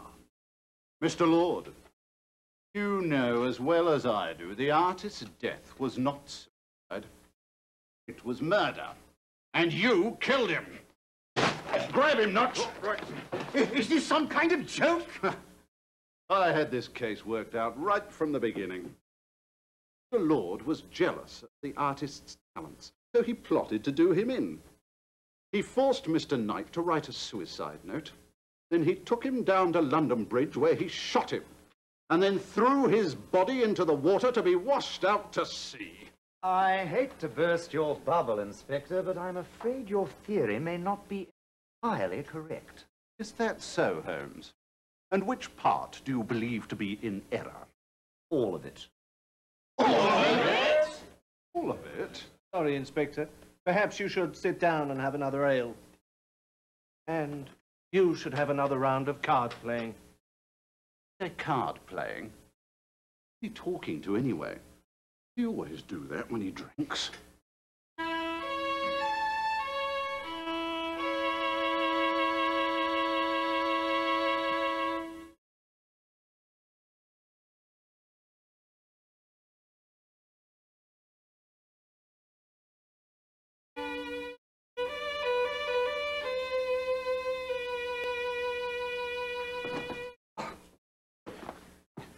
What do you mean killer was no one? I mean, Andy Knight is still very much alive.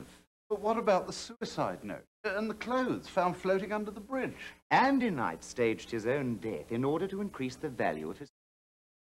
He intended to continue painting while in hiding and sell the pieces as undiscovered works. But if he was supposed to be dead, uh, how could he sell them? Through his accomplice, gallery owner Charles Lord. Knight and Lord were the masterminds behind this whole plot. I realized Andy Knight was still alive from two pieces of evidence. First, there was the painting delivered to the pub. The oil paint was still wet. And second, there was Lestrade's masterly piece of investigation. What was that, Holmes? The fingerprint you lifted from the mud belonging to the stranger sitting next to you. That smudge matched exactly the smudge on the suicide note, indicating that the stranger was none other than the artist himself, Andy Knight. So I did help solve the case. Congratulations, Victor. Perhaps I should start work on my second book on criminology. but, uh, but first, I must attend to something the utmost urgency. What's that, Inspector? WC. I don't feel at all well.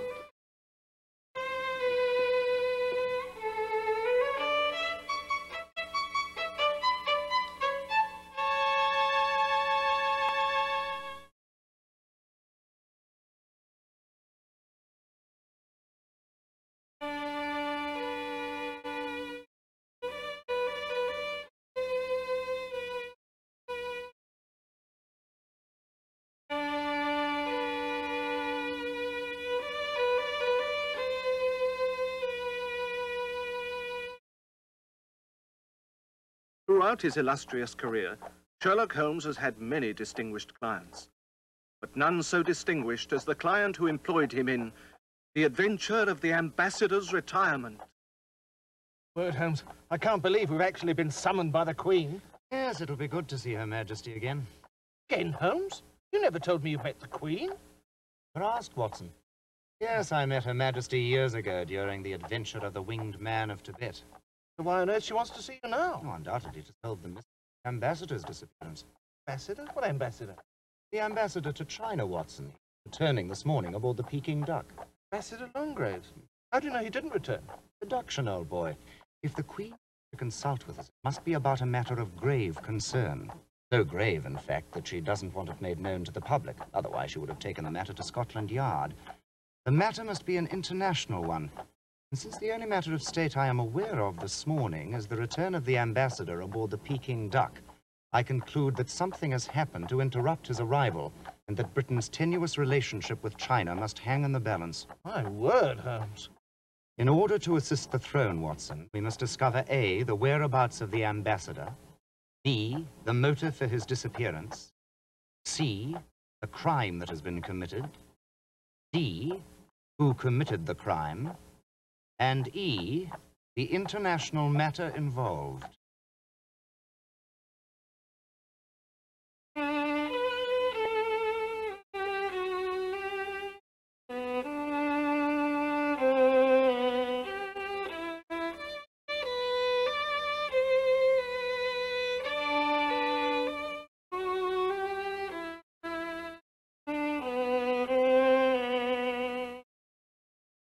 Game is afoot.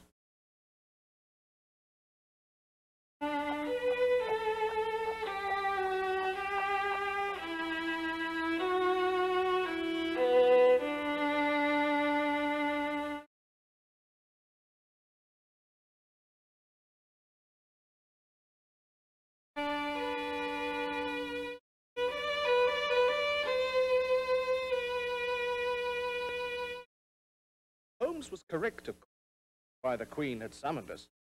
Ambassador Longgraves, due to retire after 35 years of service, disappeared.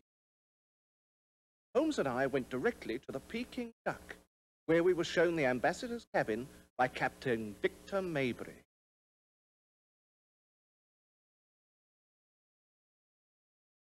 I say, what a mess.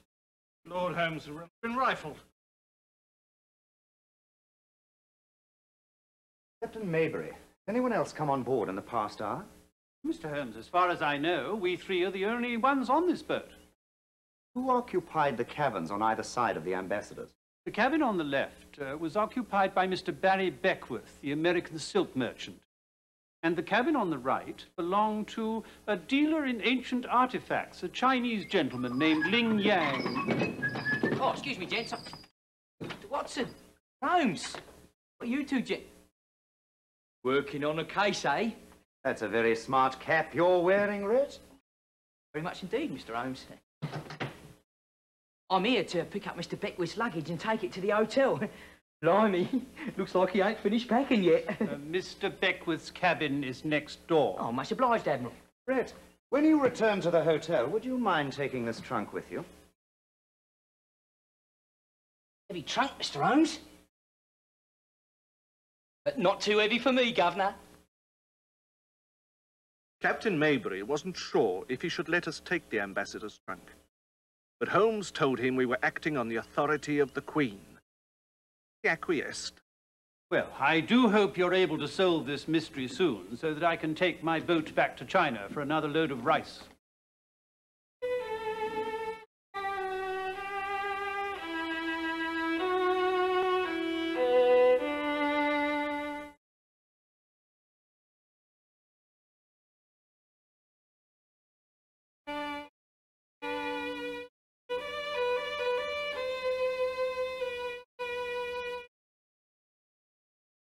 At the hotel, Holmes sent Barnett to find Barry Beckwith, the American silk merchant, and bring him to the lobby. Holmes, would you mind telling me why you brought along this trunk? If you recall, Watson, this trunk was the only piece of luggage in the ambassador's cabin that was not open and not locked. And there is a reason for that. Seems to be a bit of orange silk sticking out. Found Mr. Beckwith on the roof, Mr. Holmes.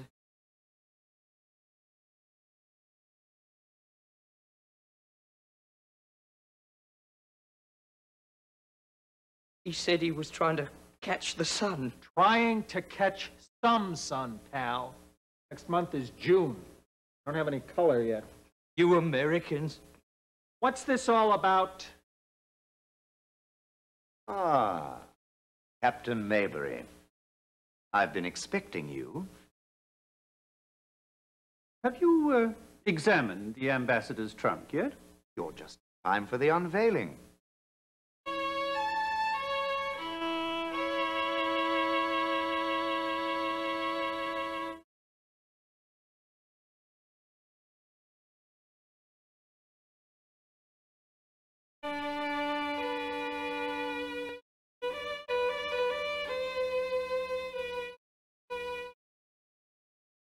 Would you do the honors, Rhett? Certainly, Mr. Holmes.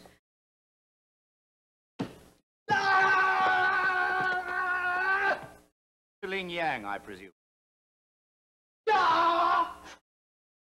What is he doing, Holmes? Kung Fu, I believe. A martial art developed by a special order of Chinese priests. Shaolin, correct? Ah, you're most learned Anglo. Then you must know Shaolin Order is dedicated to serving the culture of China, even death. Let's make this quick, buddy. There's only an hour or so of sun left. Kung Fu is all very well, Mr. Yang, but I prefer the defensive art of Aikido. As I always say, the best offense, good defense. I thought that was Vince Lombardi.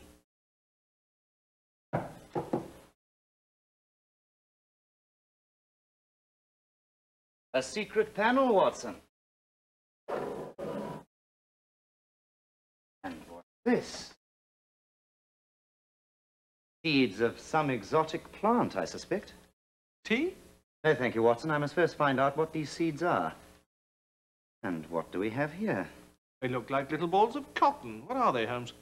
I assure you, Watson, every one of our three suspects here knows what these are. Suspects? But of what are they suspected? Well, for one thing, incredibly poor taste in clothes. And for another, someone in this room has committed murder. Murder? I must say, Holmes, I haven't a clue what's going on here. Oh, I'm disappointed in you, Watson. This case is virtually rampant with clues. When you discover who was murdered, you'll have the answer to part C. And when you find out who the murderer is, you'll have the answer to part D. The whereabouts of the ambassador, the motive for his disappearance, and the international incident involved are all right in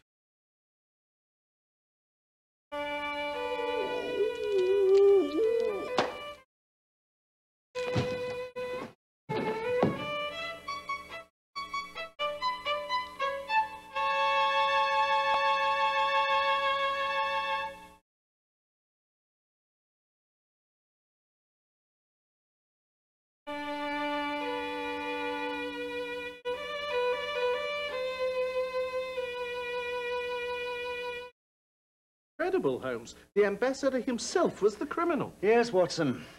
Plan was to smuggle silkworms into Europe to create an underground industry that would serve him well in his retirement years. But why did he turn to murder? Well, to allay suspicions about the contraband he was carrying, he decided to cover his plot by murdering Captain Maybury and changing roles with him.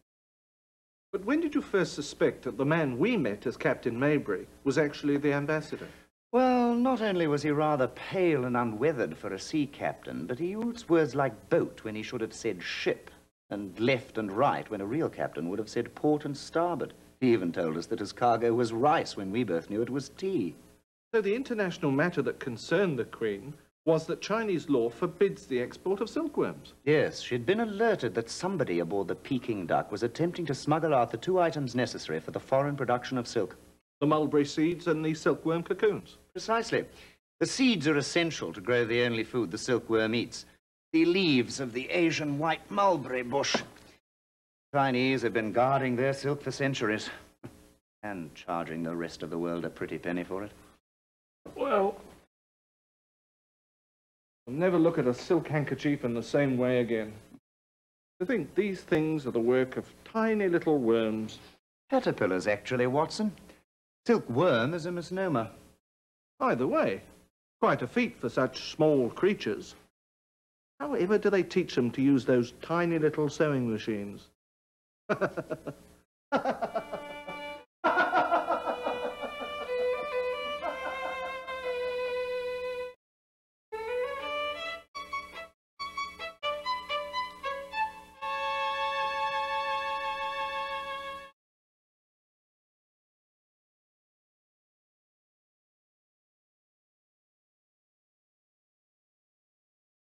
Oh, you finished watching the tape, or else you're speeding ahead to see what's at the end.